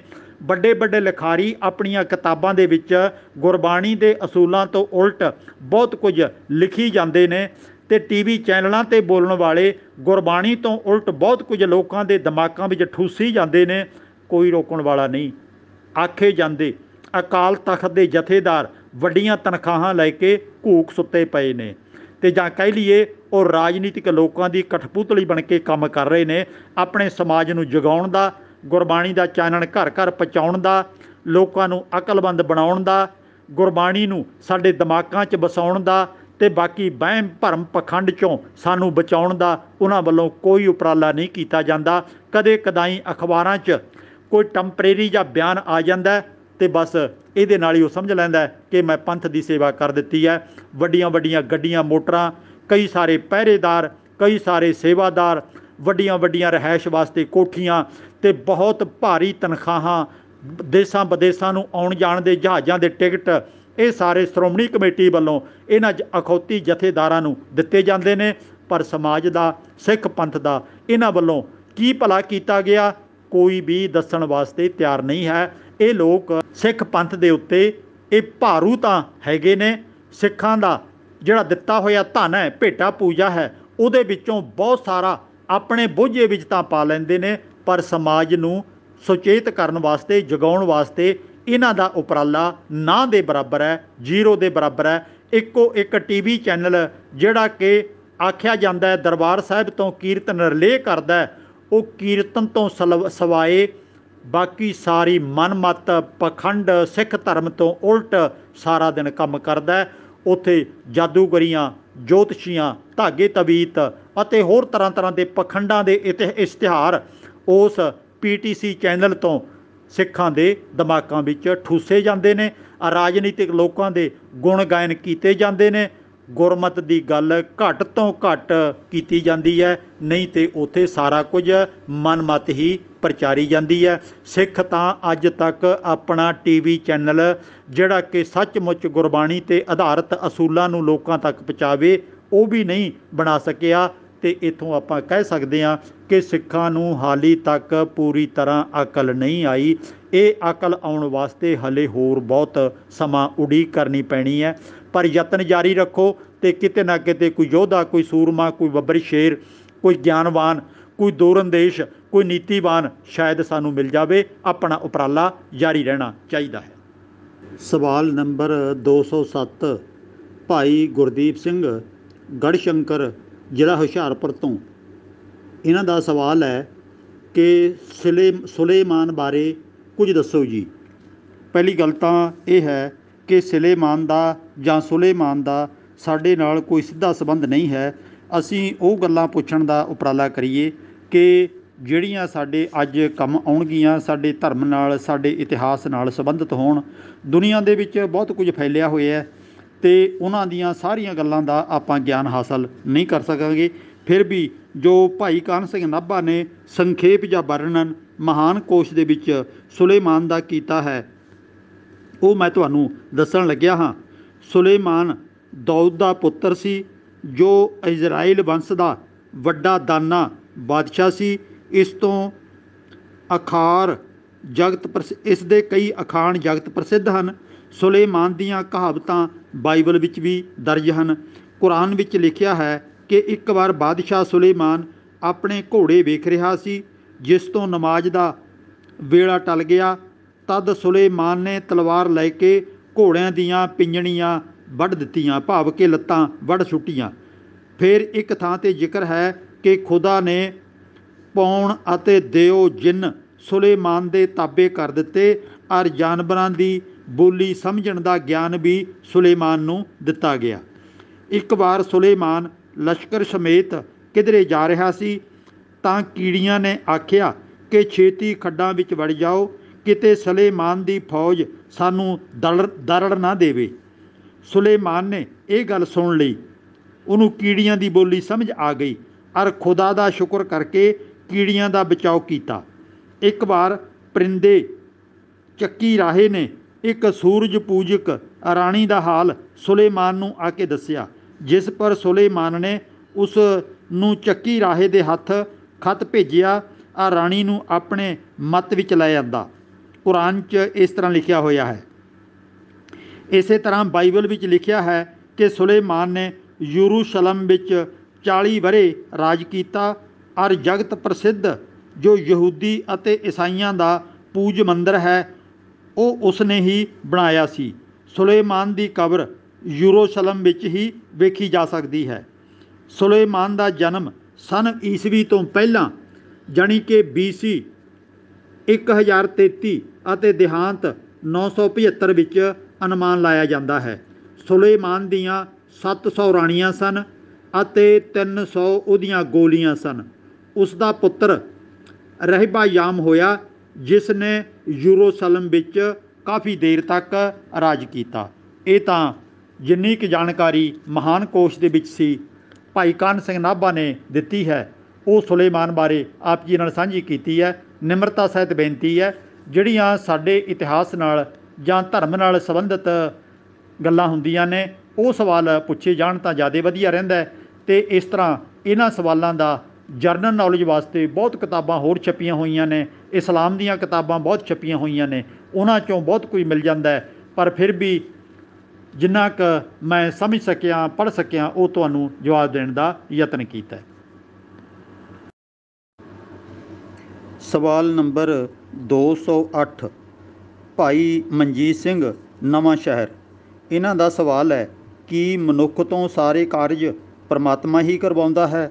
ਫਿਰ ਤਾਂ ਚੰਗੇ ਮੰਦੇ ਕੰਮਾਂ ਲਈ ਰੱਬ ਨੂੰ ਹੀ ਦੋਸ਼ੀ ਮੰਨਿਆ ਜਾਵੇਗਾ, ਜਿਵੇਂ ਕਿ ਗੁਰਬਾਣੀ ਦਾ ਫਰਮਾਨ ਹੈ, ਜਿਸ ਆਪ ਭੁਲਾਏ, ਸੋਈ ਭੁੱਲੈ, ਬੁਝੈ, ਜਿਸੈ ਬੁਝਾਏਂਦਾ। ਇਹ ਇਹਨਾਂ ਨੇ ਇੱਕ ਪੰਕਤੀ ਇੱਥੇ ਦਿੱਤੀ ਹੋਈ ਹੈ, ਜੋ ਪੰਨਾ ਨੰਬਰ 1075 ਦੇ ਉੱਤੇ ਪੰਜਵੇਂ ਪਾਤਸ਼ਾਹ ਦਾ ਸ਼ਬਦ ਹੈ। ਸਾਡੇ ਸਿੱਖ ਸਮਾਜ ਦੇ ਵਿੱਚ ਇਹ ਬਹੁਤ ਕਮਜ਼ੋਰੀ ਮਹਿਸੂਸ ਹੁੰਦੀ ਹੈ ਕਿ ਇੱਕ ਦੋ ਪੰਕਤੀ ਕਿਸੇ ਨੇ ਹਵਾਲਾ ਦੇ ਦਿੱਤਾ, ਉਹਨੂੰ ਹੀ ਕੇਵਲ ਆਪਣੀ ਜ਼ਿੰਦਗੀ ਦਾ ਆਧਾਰ ਬਣਾ ਕੇ ਅੱਗੇ ਚੱਲ ਪੈਣਾ ਬਸ ਇਹੋ ਹੀ ਸਚਾਈ ਹੈ, ਭਾਵੇਂ ਉਹ ਸਾਡੇ ਜੀਵਨ ਨਾਲ ਪੰਕਤੀ ਫਿੱਟ ਨਾ ਬਹਿੰਦੀ ਹੋਵੇ, ਸਮਾਜ ਦੇ ਵਿੱਚ ਭਾਵੇਂ ਉਹ ਕਿਸੇ ਨੂੰ ਪ੍ਰਵਾਨ ਹੋਵੇ ਕਿ ਨਾ ਹੋਵੇ ਵਿਗਿਆਨਕ ਤੌਰ ਤਰੀਕੇ ਨਾਲ ਉਹ ਰਾਸ ਆਉਂਦੀ ਹੋਵੇ ਕਿ ਨਾ ਆਉਂਦੀ ਹੋਵੇ, ਪਰ ਇੱਕ ਅੱਧ ਪੰਕਤੀ ਲੈ ਕੇ ਉਸ ਨੂੰ ਯਾਦ ਕਰਕੇ ਇਉਂ ਮੰਨ ਲਿਆ ਜਾਂਦਾ ਕਿ ਬਸ ਇਸ ਪੰਕਤੀ ਦੇ ਵਿੱਚ ਹੀ ਮੇਰੀ ਸਾਰੀ ਜ਼ਿੰਦਗੀ ਛੁਪੀ ਹੋਈ ਹੈ। ਗੁਰੂ ਸਾਹਿਬ ਦੇ ਸਾਰੇ ਉਪਦੇਸ਼, ਸਾਰੇ ਸਿਧਾਂਤ ਇਸੇ ਇੱਕ ਪੰਕਤੀ ਦੇ ਵਿੱਚ ਆ ਗਏ ਨੇ, ਜਦੋਂ ਕਿ ਇਹ ਸੱਚ ਨਹੀਂ ਹੈ।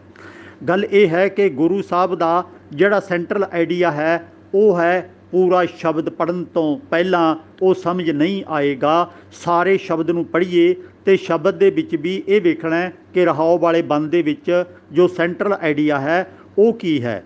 ਤੇ ਆਖਰੀ ਪੰਕਤੀਆਂ ਦੇ ਵਿੱਚ ਸਾਰੇ ਸ਼ਬਦ ਦਾ ਗੁਰੂ ਸਾਹਿਬ ਨਿਚੋੜ ਪੇਸ਼ ਕਰਦੇ ਨੇ। ਆਮ ਤੌਰ ਤੇ ਬਾਕੀ ਪੰਕਤੀਆਂ ਦੇ ਵਿੱਚ ਉਦਾਹਰਣਾਂ ਦੇ ਕੇ ਗੱਲ ਸਮਝਾਈ ਜਾਂਦੀ ਹੈ। ਹੁਣ ਜਦੋਂ ਅਸੀਂ ਕੋਈ ਇੱਕ ਪੰਕਤੀ ਜਿਵੇਂ ਇਹਨਾਂ ਨੇ ਇੱਥੇ ਲਿਖ ਕੇ ਭੇਜੀ ਹੈ ਕਿ ਜਿਸ ਆਪ ਭੁਲਾਏ ਸੋਈ ਭੁੱਲੈ ਜਿਸ ਨੂੰ ਰੱਬ ਭੁਲਾ ਦਿੰਦਾ ਹੈ, ਕੁਰਾਹੇ ਪਾ ਦਿੰਦਾ ਹੈ, ਉਹੀ ਬੰਦਾ ਕੁਰਾਹੇ ਪੈਂਦਾ ਹੈ, ਬੰਦੇ ਦੀ ਆਪਣੀ ਕੋਈ ਗਲਤੀ ਨਹੀਂ, ਸਾਰਾ ਕੁਝ ਕਰਨ ਕਾਰਨ ਸਮਰੱਥ ਰੱਬ ਆਪ ਹੀ ਹੈ। ਬੁੱਝੈ ਜਿਸੈ ਬੁਝਾਏਂਦਾ ਜਿਸ ਨੂੰ ਉਹ ਚੰਗੇ ਰਾਹ ਪਾ ਦੇਵੇ, ਜਿਹਨੂੰ ਸਮਝ ਦੇ ਦੇਵੇ, ਅਕਲ ਦੇ ਦੇਵੇ, ਉਹਨੂੰ ਸਮਝ ਆ ਜਾਂਦੀ ਹੈ, ਕਿਉਂਕਿ ਸਾਰਾ ਕੁਝ ਕਰਨ ਵਾਲਾ ਤਾਂ ਰੱਬ ਆਪ ਹੈ। ਇਹੋ ਹੀ ਸਾਡੀਆਂ ਸਟੇਜਾਂ ਦੇ ਉੱਤੇ ਪ੍ਰਚਾਰਿਆ ਗਿਆ ਤੇ ਆਮ ਸੰਗਤ ਦੇ ਮਨਾਂ ਵਿੱਚ ਇਹੋ ਕੁਝ ਬੈਠ ਗਿਆ। ਇਸੇ ਕਰਕੇ ਹਰ ਬੰਦਾ ਜਦੋਂ ਵੀ ਕੋਈ ਘਟਨਾ ਵਾਪਰਦੀ ਹੈ, ਚੰਗੀ ਜਾਂ ਮਾੜੀ, ਜੇ ਤਾਂ ਚੰਗੀ ਹੋਵੇ ਤਾਂ ਵੀ ਸਾਡੀ ਕਿਸਮਤ ਦੇ ਵਿੱਚ ਇਹ ਚੰਗਾ ਲਿਖਿਆ ਹੋਇਆ ਸੀ। ਜੇ ਬੁਰੀ ਘਟਨਾ ਵਾਪਰ ਗਈ ਤਾਂ ਸਾਡੀ ਕਿਸਮਤ ਦੇ ਵਿੱਚ ਮਾੜਾ ਲਿਖਿਆ ਹੋਇਆ ਸੀ। ਤੇ ਭਾਈ, ਇਹ ਤਾਂ ਮੱਥੇ ਦੀਆਂ ਲਿਖੀਆਂ ਕਾਹਨੂੰ ਮੇਟੀਆਂ ਜਾ ਸਕਦੀਆਂ ਨੇ? ਇਹ ਤਾਂ ਧੁਰ ਦਰਗਾਹੋਂ ਹੀ ਲਿਖ ਕੇ ਪਰਮਾਤਮਾ ਨੇ ਭੇਜ ਦਿੱਤੀਆਂ, ਇਹਨੂੰ ਕਿਹੜਾ ਮੇਟ ਸਕਦਾ ਹੈ? ਤੇ ਦੂਜੇ ਪਾਸੇ ਪੁਜਾਰੀ ਤਬਕਾ ਇਹ ਵੀ ਕਹੀ ਜਾਂਦਾ ਇੰਨਾ ਕੁ ਦਾਨ ਪੁੰਨ ਕਰ ਦਿਓ, ਤਾਂ ਤੁਹਾਡੇ ਮੱਥੇ ਦੀਆਂ ਗਲਤ ਲਕੀਰਾਂ ਮਿਟ ਜਾਣਗੀਆਂ। ਇੰਨੇ ਕ ਮੰਤਰ ਜਾਪ ਕਰ ਲਓ, ਅਖੰਡ ਪਾਠ ਕਰ ਲਓ, ਗੁਰਦੁਆਰੇ ਤੁਸੀਂ ਜਾ ਕੇ ਸੇਵਾ ਕਰ ਲਓ, ਮੱਥੇ ਟੇਕ ਲਓ, ਲੰਗਰ ਕਰਾ ਦਿਓ, ਅਖੰਡ ਪਾਠ ਕਰਾ ਦਿਓ, ਤੁਹਾਡੀਆਂ ਗਲਤ ਤਕਦੀਰਾਂ ਮਿਟ ਜਾਣਗੀਆਂ, ਚੰਗੀਆਂ ਲਕ- ਤਕਦੀਰਾਂ ਦੀਆਂ ਲਕੀਰਾਂ ਨਵੇਂ ਸਿਰੋਂ ਰੱਬ ਲਿਖ ਦੇਵੇਗਾ। ਇਹ ਵੀ ਕਹਾਣੀਆਂ ਪਾਈ ਜਾਂਦੇ ਨੇ। ਅਤੇ ਇਹਨਾਂ ਸਾਰਾ ਪੁਜਾਰੀਆਂ ਨੂੰ, ਚਾਹੇ ਉਹ ਸਿੱਖ ਰੂਪ ਵਾਲਾ ਅਤੇ ਭਾਵੇਂ ਕੋਈ ਹੋਰ ਹੈ, ਉਹਨਾਂ ਨੂੰ ਦਾਨ ਦੇ ਦਿਓ ਅਤੇ ਤੁਹਾਡਾ ਅਗਲਾ ਪਿਛਲਾ ਸਭ ਕੁਝ ਸਮਰ ਜਾਵੇਗਾ।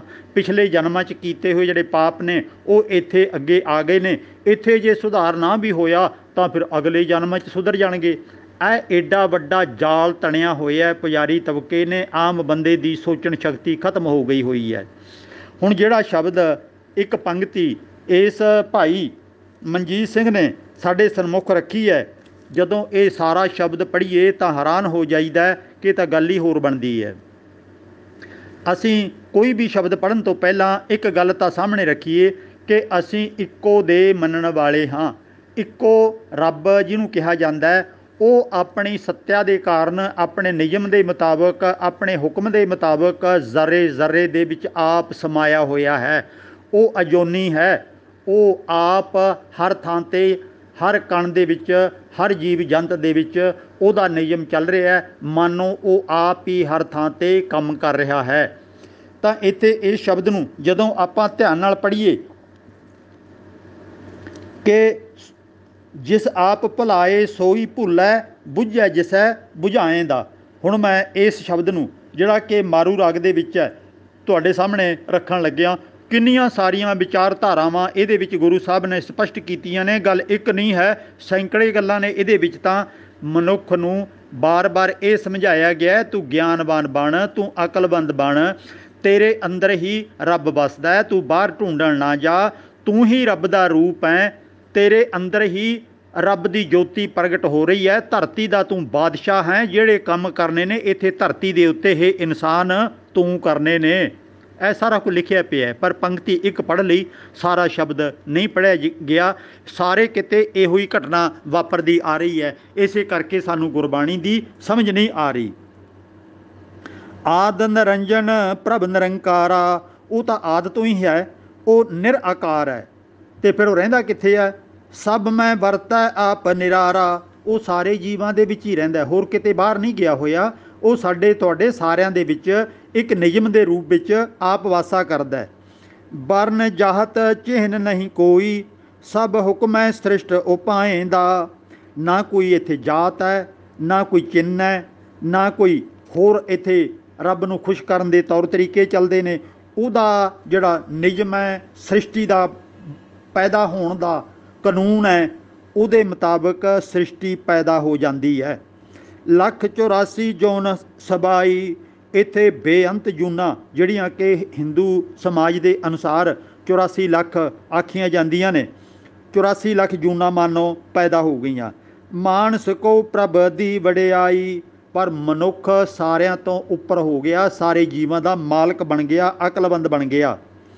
ਇਸ ਪੌੜੀ ਤੇ ਜੋ ਨਰ ਚੂਕੈ, ਸੋ ਆਏ ਜਾਏ ਦੁੱਖ ਪਾਏਂਦਾ ਇਸ ਵੱਡੀ ਜੋ ਸ਼ਾਨਦਾਰ ਜ਼ਿੰਦਗੀ ਮਿਲੀ ਹੈ ਜਿਹੜਾ ਬੰਦਾ ਇਸ ਦਾ ਫਾਇਦਾ ਨਾ ਉਠਾਵੇ, ਇਹ ਤੋਂ ਖੁੰਝ ਜਾਵੇ, ਤੇ ਸਮਝ ਲਓ, ਉਹ ਫਿਰ ਦੁੱਖਾਂ ਦਾ ਰਾਹ ਉਹਨੇ ਆਪ ਹੀ ਅਪਣਾਇਆ ਉਹਨੂੰ ਹੋਰ ਕਿਤੋਂ ਫਿਰ ਸੁੱਖ ਨਹੀਂ ਮਿਲਣਾ। ਉਹ ਤਾਂ ਇਸ ਪੌੜੀ ਤੇ ਜੋ ਨਰ ਚੂਕੈ ਸੋ ਆਏ ਜਾਏ ਦੁੱਖ ਪਾਏਂਦਾ ਕੀਤਾ ਹੋਵੇ, ਤਿਸ ਕਿਆ ਕਹੀਐ, ਗੁਰਮੁਖ ਨਾਮ ਪਦਾਰਥ ਲਈਐ। ਜਿਹੜਾ ਕੁਛ ਉਹਨੇ ਕੀਤਾ ਉਹੀ ਉਹਨੂੰ ਭੁਗਤਣਾ ਪਵੇਗਾ। ਜਿਹੜਾ ਗੁਰਮੁਖ ਹੈ, ਗੁਰੂ ਦੇ ਮਾਰਗ ਤੇ, ਗਿਆਨ ਦੇ ਮਾਰਗ ਤੇ ਚੱਲਣਾ ਜਿਹਨੇ ਸ਼ੁਰੂ ਕੀਤਾ, ਉਹ ਸਭ ਕੁਝ ਪ੍ਰਾਪਤ ਕਰ ਲੈਂਦਾ ਹੈ। ਜਿਸ ਆਪ ਭੁਲਾਏ, ਸੋਈ ਭੁੱਲੈ, ਬੁਝੈ, ਜਿਸੈ ਬੁਝਾਏ ਦਾ ਜਿਹੜਾ ਆਪਣੇ ਆਪ ਨੂੰ ਖੁਦ ਕੁਰਾਹੇ ਪਾਉਂਦਾ ਕਿਉਂਕਿ ਰੱਬ ਤਾਂ ਸਾਡੇ ਅੰਦਰ ਹੈ, ਉਹਦੀ ਜੋਤ, ਉਹਦੀ ਸੱਤਿਆ ਤਾਂ ਮਨੁੱਖ ਦੇ ਅੰਦਰ ਮੌਜੂਦ ਹੈ। ਜੇ ਮਨੁੱਖ ਨੇ ਦਿਮਾਗ ਦੀ, ਅਕਲ ਦੀ ਵਰਤੋਂ ਨਹੀਂ ਕੀਤੀ, ਉਹ ਭੁੱਲ ਗਿਆ, ਉਹ ਕੁਰਾਹੇ ਪੈ ਗਿਆ। ਰੱਬ ਨਹੀਂ ਕਿਸੇ ਨੂੰ ਕੰਨੋਂ ਪਕੜ ਕੇ ਗਲਤ ਰਾਹ ਤੇ ਤੋਰਦਾ। ਰੱਬ ਨਹੀਂ ਕਿਸੇ ਨੂੰ ਆਤਮ ਹੱਤਿਆ ਕਰਨ ਤੇ ਮਜਬੂਰ ਕਰਦਾ। ਰੱਬ ਨਹੀਂ ਕਿਸੇ ਨੂੰ ਨਸ਼ੇੜੀ ਬਣਾਉਂਦਾ। ਰੱਬ ਨਹੀਂ ਕਿਸੇ ਤੋਂ ਕਤਲ ਕਰਵਾਉਂਦਾ। ਰੱਬ ਨਹੀਂ ਦੁਨੀਆ ਨੂੰ ਤਬਾਹ ਕਰਨ ਦੇ ਐਟਮ ਬੰਬ ਪੈਦਾ ਕਰਦਾ। ਇਹ ਸਾਰਾ ਕੁਝ ਧਰਤੀ ਦੇ ਉੱਤੇ ਮਨੁੱਖ ਨੇ ਪੈਦਾ ਕੀਤਾ ਹੈ। ਤੇ ਕੁਦਰਤ ਦਾ ਨਿਯਮ ਹਰ ਥਾਂ ਤੇ ਲਾਗੂ ਹੁੰਦਾ ਹੈ। ਕੁਦਰਤ ਦਾ ਨਿਯਮ ਸਾਡੇ ਅੰਦਰ ਵੀ ਮੌਜੂਦ ਹੈ ਤੇ ਸਾਰੇ ਜੀਵਾਂ ਚੋਂ ਜਿਵੇਂ ਕੁਦਰਤੀ ਨਿਯਮ ਦੇ ਮੁਤਾਬਕ ਮਨੁੱਖ ਸਭ ਤੋਂ ਉੱਚਾ ਉੱਠ ਗਿਆ, ਹੁਣ ਮਨੁੱਖ ਨੇ ਧਰਤੀ ਦਾ ਬਾਦਸ਼ਾਹ ਬਣ ਕੇ ਆਪਣੀ ਜ਼ਿੰਮੇਵਾਰੀ ਚੰਗੇ ਤਰੀਕੇ ਨਿਭਾਉਣੀ ਹੈ। ਜਿਸ ਆਪ ਭੁਲਾਏ ਸੋਈ ਭੁੱਲੈ, ਸੋ ਬੂਝੈ ਜਿਸੈ ਬੁਝਾਏਂਦਾ, ਜਿਹੜਾ ਆਪਣੇ ਆਪ ਨੂੰ ਕੁਰਾਹੇ ਪਾ ਲਵੇ, ਤੇ ਉਹਨੂੰ ਕੌਣ ਫਿਰ ਰੋਕ ਸਕਦਾ ਹੈ? ਬੂਝੈ ਜਿਸੈ ਬੁਝਾਏਂਦਾ ਜਿਹੜਾ ਆਪਣੇ ਆਪ ਤੋਂ ਚੰਗੇ ਕੰਮ ਲੈ ਲਵੇ। ਦੋ ਸਕੇ ਭਰਾ ਹੋਏ ਮੰਨ ਲਓ, ਇੱਕ ਕੁਰਾਹੇ ਪੈ ਗਿਆ, ਇੱਕ ਨੇਰਾ, ਨੇਕਰਾ ਪੈ ਗਿਆ। ਤੇ ਗੁਰੂ ਘਰ ਦੇ ਵਿੱਚ ਵੀ ਇਸ ਤਰ੍ਹਾਂ ਵਾਪਰਿਆ ਇੱਕ ਤਾਂ ਗੁਰੂ ਅਰਜਨ ਸਾਹਿਬ ਹੈ, ਜਿਹੜਾ ਮਹਾਨ ਹੋਇਆ, ਵਿਦਵਾਨ ਹੋਇਆ, ਬਹਾਦਰ ਹੋਇਆ ਤੇ ਇੱਕ ਪ੍ਰਿਥੀ ਚੰਦ ਵੀ ਹੈ। ਹੈ ਤਾਂ ਉਸੇ ਘਰ ਦੇ ਵਿੱਚ ਪੈਦਾ ਹੋਏ ਨੇ। ਇੱਕ ਨੇ ਆਪਣੇ ਆਪ ਨੂੰ ਕੁਰਾਹੇ ਪਾ ਲਿਆ, ਇੱਕ ਨੇ ਨੇਕੀ ਦੇ ਰਾਹ ਤੇ ਤੋਰ ਲਿਆ। ਇਹ ਸਾਰਾ ਕੁਝ ਮਨੁੱਖ ਨੇ ਕਰਨਾ ਹੈ, ਜਿਸ ਪਾਸੇ ਉਹਦੀ ਅਕਲ ਚੱਲ ਪਈ, ਉਹੋ ਜਿਹੇ ਕੰਮ ਉਹਨੇ ਕਰਦੇ ਚਲੇ ਜਾਣਾ ਹੈ। ਹਰਖ ਸੋਗ ਕਾ ਨਗਰ ਏਕੀਆ, ਇੱਥੇ ਮਨੁੱਖ ਦੇ ਅੰਦਰ ਹੀ ਕਦੀ ਖੁਸ਼ੀ ਹੈ, ਕਦੀ ਗਮੀ ਹੈ। ਸੇ ਉਬਰੇ ਜੋ ਸਤਗੁਰ ਸ਼ਰਣੀਆ, ਉਹ ਖੁਸ਼ੀਆਂ ਗਮੀਆਂ ਤੋਂ ਉੱਪਰ ਉੱਠ ਜਾਂਦੇ ਨੇ, ਜੋ ਗਿਆਨਵਾਨ ਬਣ ਜਾਂਦੇ ਨੇ। ਤ੍ਰਿਹਾਂ ਗੁਣਾ ਤੇ ਰਹਿ ਨਿਰਾਰਾ, ਸੋ ਗੁਰਮੁਖ ਸੋਭਾ ਪਾਏਂਦਾ, ਜਿਹੜਾ ਵਿਕਾਰਾਂ ਤੋਂ ਉੱਪਰ ਉੱਠ ਜਾਵੇ ਉਹਦੀ ਚਾਰੇ ਪਾਸੇ ਫਿਰ ਸੋਭਾ ਹੁੰਦੀ ਹੈ ਉਹ ਗੁਰਮੁਖ ਬਣ ਜਾਂਦਾ ਹੈ। ਅਨੇਕ ਕਰਮ ਕੀਏ ਬਹੁਤੇਰੇ ਇੱਥੇ ਬਹੁਤ ਕੰਮ ਕਰਦਾ ਮਨੁੱਖ ਤਰ੍ਹਾਂ ਤਰ੍ਹਾਂ ਦੀਆਂ ਆਦਤਾਂ ਭੈੜੀਆਂ ਵੀ ਚੰਗੀਆਂ ਵੀ ਉਹਨੂੰ ਪੈ ਜਾਂਦੀਆਂ ਨੇ। ਜੋ ਕੀਜੈ ਸੋ ਬੰਧਨ ਪੈਰੇ ਪਰ ਆਪਣੀ ਕਮ ਅਕਲੀ ਦੇ ਕਾਰਨ ਇਨਸਾਨ ਜਿਹੜਾ ਕੰਮ ਵੀ ਕਰਦਾ ਹੈ, ਮਾਨੋ ਆਪਣੇ ਪੈਰਾਂ 'ਚ ਬੇੜੀਆਂ ਪਾ ਲੈਂਦਾ ਵੀ ਆ ਵੀ ਗਲਤ ਹੋ ਗਿਆ ਆ ਵੀ ਗਲਤ ਹੋ ਗਿਆ ਕਿਉਂਕਿ ਅਕਲ ਨਹੀਂ ਹੈ।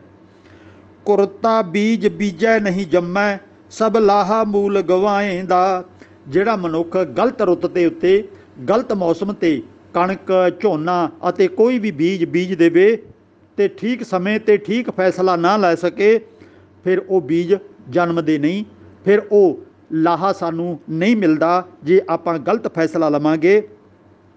ਸਭ ਕੁਝ ਬੰਦਾ ਗਵਾ ਲੈਂਦਾ ਭਾਵ ਕਿ ਖੇਤ ਦੇ ਵਿੱਚ ਜੇ ਕੁਆਂਟਲ ਦੋ ਕੁਆਂਟਲ ਕਣਕ ਉਹਨੇ ਬੀਜ ਦਿੱਤੀ, ਪਰ ਮੌਸਮ ਠੀਕ ਨਹੀਂ ਹੈ ਉਹਨੂੰ ਇਨਕਮ ਤਾਂ ਕੀ ਹੋਣੀ ਸੀ? ਸਗੋਂ ਜਿਹੜਾ ਮੂਲ ਰੂਪ ਦੇ ਵਿੱਚ ਅਨਾਜ ਉਹਨੇ ਖੇਤਾਂ 'ਚ ਬੀਜਿਆ ਸੀ, ਉਹ ਵੀ ਬਰਬਾਦ ਹੋ ਗਿਆ। ਕਲਯੁਗ ਮੈਂ ਕੀਰਤਨ ਪ੍ਰਧਾਨਾ, ਭਾਈ ਇਸ ਭੈੜੇ ਸਮੇਂ ਦੇ ਵਿੱਚ ਨੇਕੀ, ਚੰਗਿਆਈ, ਗੁਣ, ਵਿਦਿਆ, ਕੀਰਤੀ ਇਹੀ ਪ੍ਰਧਾਨ ਹੈ, ਅਕਲ ਹੀ ਪ੍ਰਧਾਨ ਹੈ। ਗੁਰਮੁਖ ਜਪੀਐ ਲਾਏ ਧਿਆਨਾ।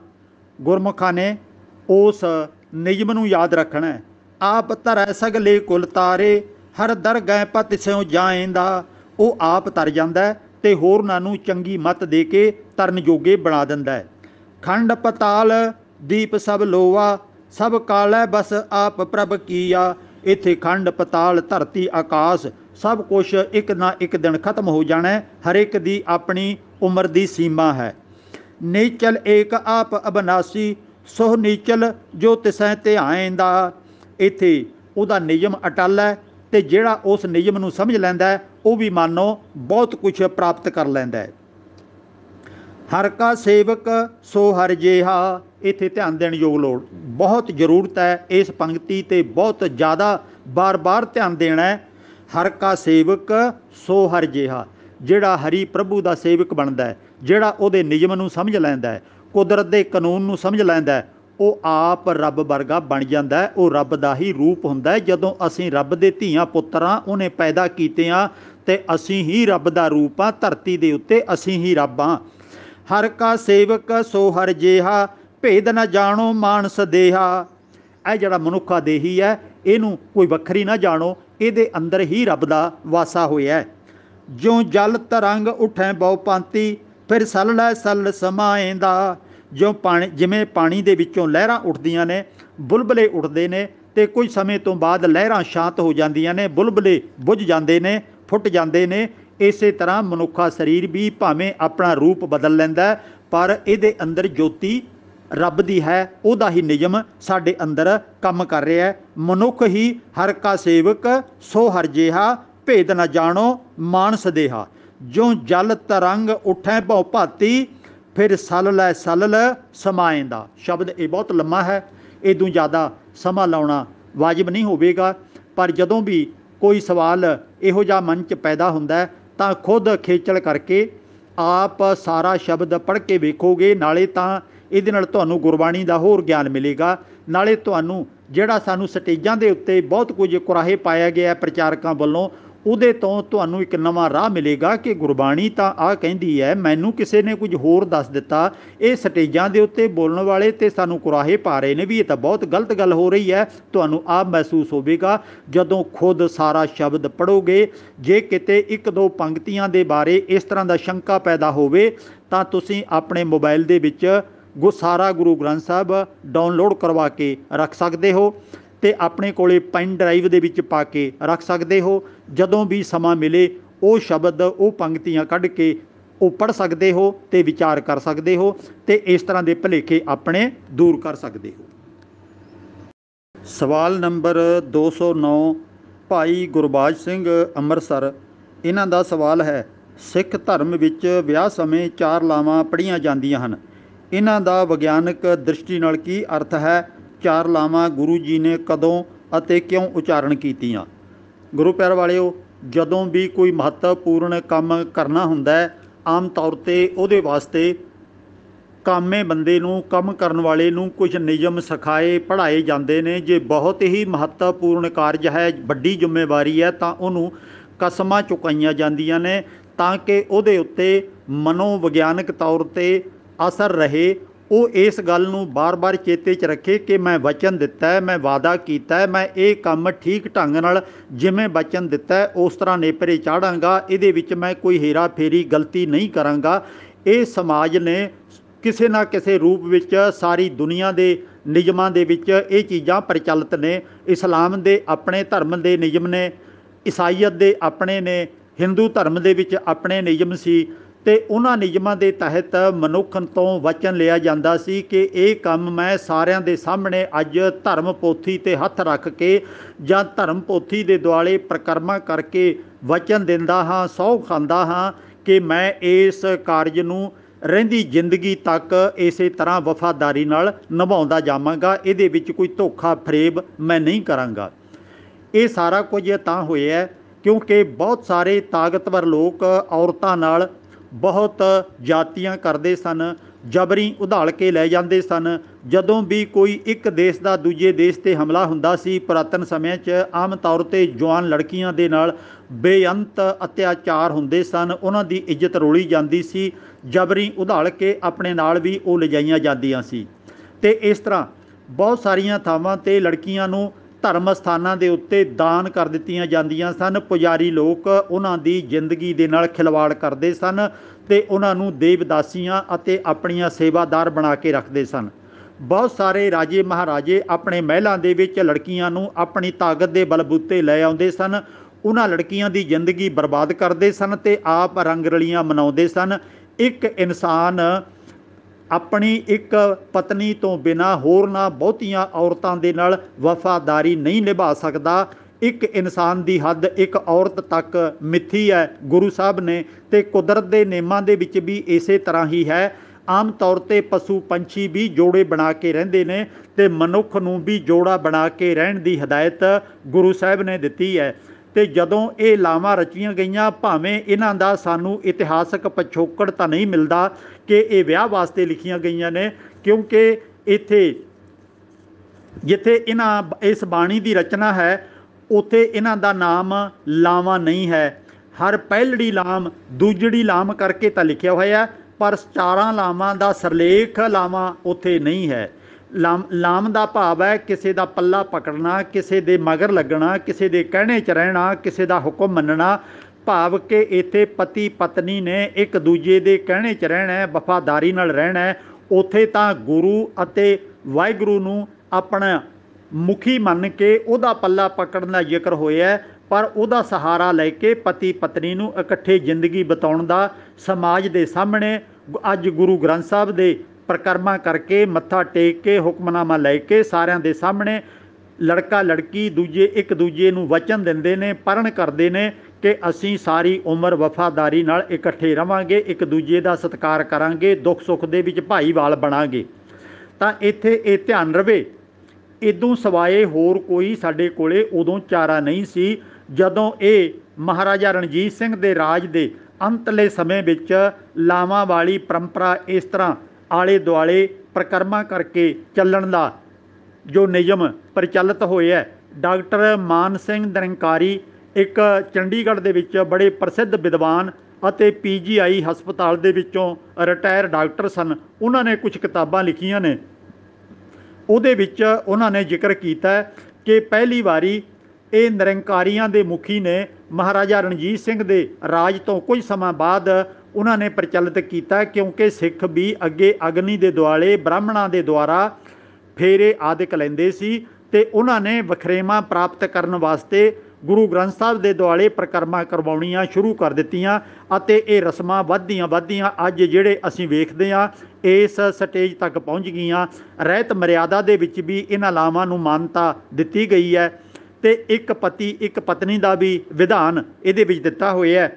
ਇਹ ਵਿਗਿਆਨਕ ਆਧਾਰ ਨਹੀਂ ਹੈ, ਬਲਕਿ ਇਹ ਮਨੋਵਿਗਿਆਨਕ ਆਧਾਰ ਹੈ ਤੇ ਨਾਲ ਨਾਲ ਅੱਜ ਤਾਂ ਭਾਰਤ ਸਰਕਾਰ ਨੇ ਇਹ ਵੀ ਕਾਨੂੰਨ ਬਣਾ ਦਿੱਤਾ ਹੈ ਕਿ ਹਿੰਦੂ ਰੀਤੀ ਨਾਲ ਕਰਾਇਆ ਵਿਆਹ ਆਨੰਦ ਰੀਤੀ ਨਾਲ ਕਰਾਇਆ ਵਿਆਹ, ਇਹਨਾਂ ਨੂੰ ਮਾਨਤਾ ਤਾਂ ਮਿਲੇਗੀ ਜੇ ਤੁਸੀਂ ਕੋਰਟ ਦੇ ਵਿੱਚ ਵੀ ਦਰਜ ਕਰਵਾਓਗੇ ਕਿ ਅਸੀਂ ਦੋਵੇਂ ਪਤੀ ਪਤਨੀ ਜ਼ਿੰਦਗੀ ਭਰ ਇਕੱਠੇ ਰਹਿਣ ਦਾ ਵਚਨ ਦੇ ਚੁੱਕੇ ਹਾਂ। ਆ ਸਾਡੇ ਭਾਈ ਵੱਲੋਂ ਜਾਂ ਪੁਜਾਰੀ ਵੱਲੋਂ ਸਰਟੀਫਿਕੇਟ ਸਾਨੂੰ ਦਿੱਤਾ ਗਿਆ ਸਾਡੇ ਵਿਆਹ ਨੂੰ ਅਦਾਲਤ ਵੱਲੋਂ ਮਾਨਤਾ ਦੇ ਦਿੱਤੀ ਜਾਵੇ ਤਾਂ ਕਿ ਕੱਲ ਨੂੰ ਜੇ ਕੋਈ ਝਗੜਾ ਪੈ ਜਾਵੇ ਬੱਚਿਆਂ ਦੇ ਵਾਸਤੇ ਕੋਈ ਮੁਸ਼ਕਲ ਖੜੀ ਹੋ ਜਾਵੇ, ਜਾਇਦਾਦ ਲੈਣੀ ਦੇਣੀ, ਹਿੱਸਾ ਬਣਾਉਣਾ ਜਾਂ ਪਤੀ ਆਪਣੀ ਪਤਨੀ ਨੂੰ ਜੇ ਤਲਾਕ ਦਿੰਦਾ ਤਾਂ ਉਹਦਾ ਖਰਚਾ ਦੇਣ ਤੋਂ ਇਨਕਾਰ ਕਰ ਦੇਵੇ। ਇਸ ਤਰ੍ਹਾਂ ਦੀਆਂ ਕਈ ਮੁਸ਼ਕਲਾਂ ਤੋਂ ਬਚਣ ਵਾਸਤੇ ਅਦਾਲਤ ਦੇ ਵਿੱਚ ਵਿਆਹ ਰਿਕਾਰਡ ਕਰਾਉਣਾ, ਦਰਜ ਕਰਾਉਣਾ ਵੀ ਜ਼ਰੂਰੀ ਹੈ ਤੇ ਇਹ ਸਾਡੇ ਹੀ ਫਾਇਦੇ ਵਾਸਤੇ ਹੈ। ਇਹ ਸੰਗ ਸ਼ਰਮ ਵਾਲੀ ਗੱਲ ਨਹੀਂ ਸਮਝਣੀ ਚਾਹੀਦੀ, ਕਿਉਂਕਿ ਜਿਹੜੀ ਕਾਨੂੰਨੀ ਕਾਰਵਾਈ ਕਰਨੀ ਹੈ, ਉਹ ਤਾਂ ਅਦਾਲਤਾਂ ਨੇ, ਸਰਕਾਰਾਂ ਨੇ ਕਰਨੀ ਹੈ। ਗੁਰੂ ਗ੍ਰੰਥ ਸਾਹਿਬ ਤਾਂ ਸਾਡੀ ਸ਼ਰਧਾ ਦਾ ਪਾਤਰ ਤਾਂ ਅਸੀਂ ਉਹਨੂੰ ਮੰਨ ਸਕਦੇ ਹਾਂ ਕਿ ਅਸੀਂ ਉਹਦੇ ਤੇ ਵਿਸ਼ਵਾਸ ਰੱਖ ਕੇ ਕਸਮ ਚੁੱਕੀ ਹੈ, ਪਰ ਕਸਮਾਂ ਸਾਰੇ ਲੋਕ ਠੀਕ ਢੰਗ ਨਾਲ ਨਹੀਂ ਨਿਭਾਉਂਦੇ।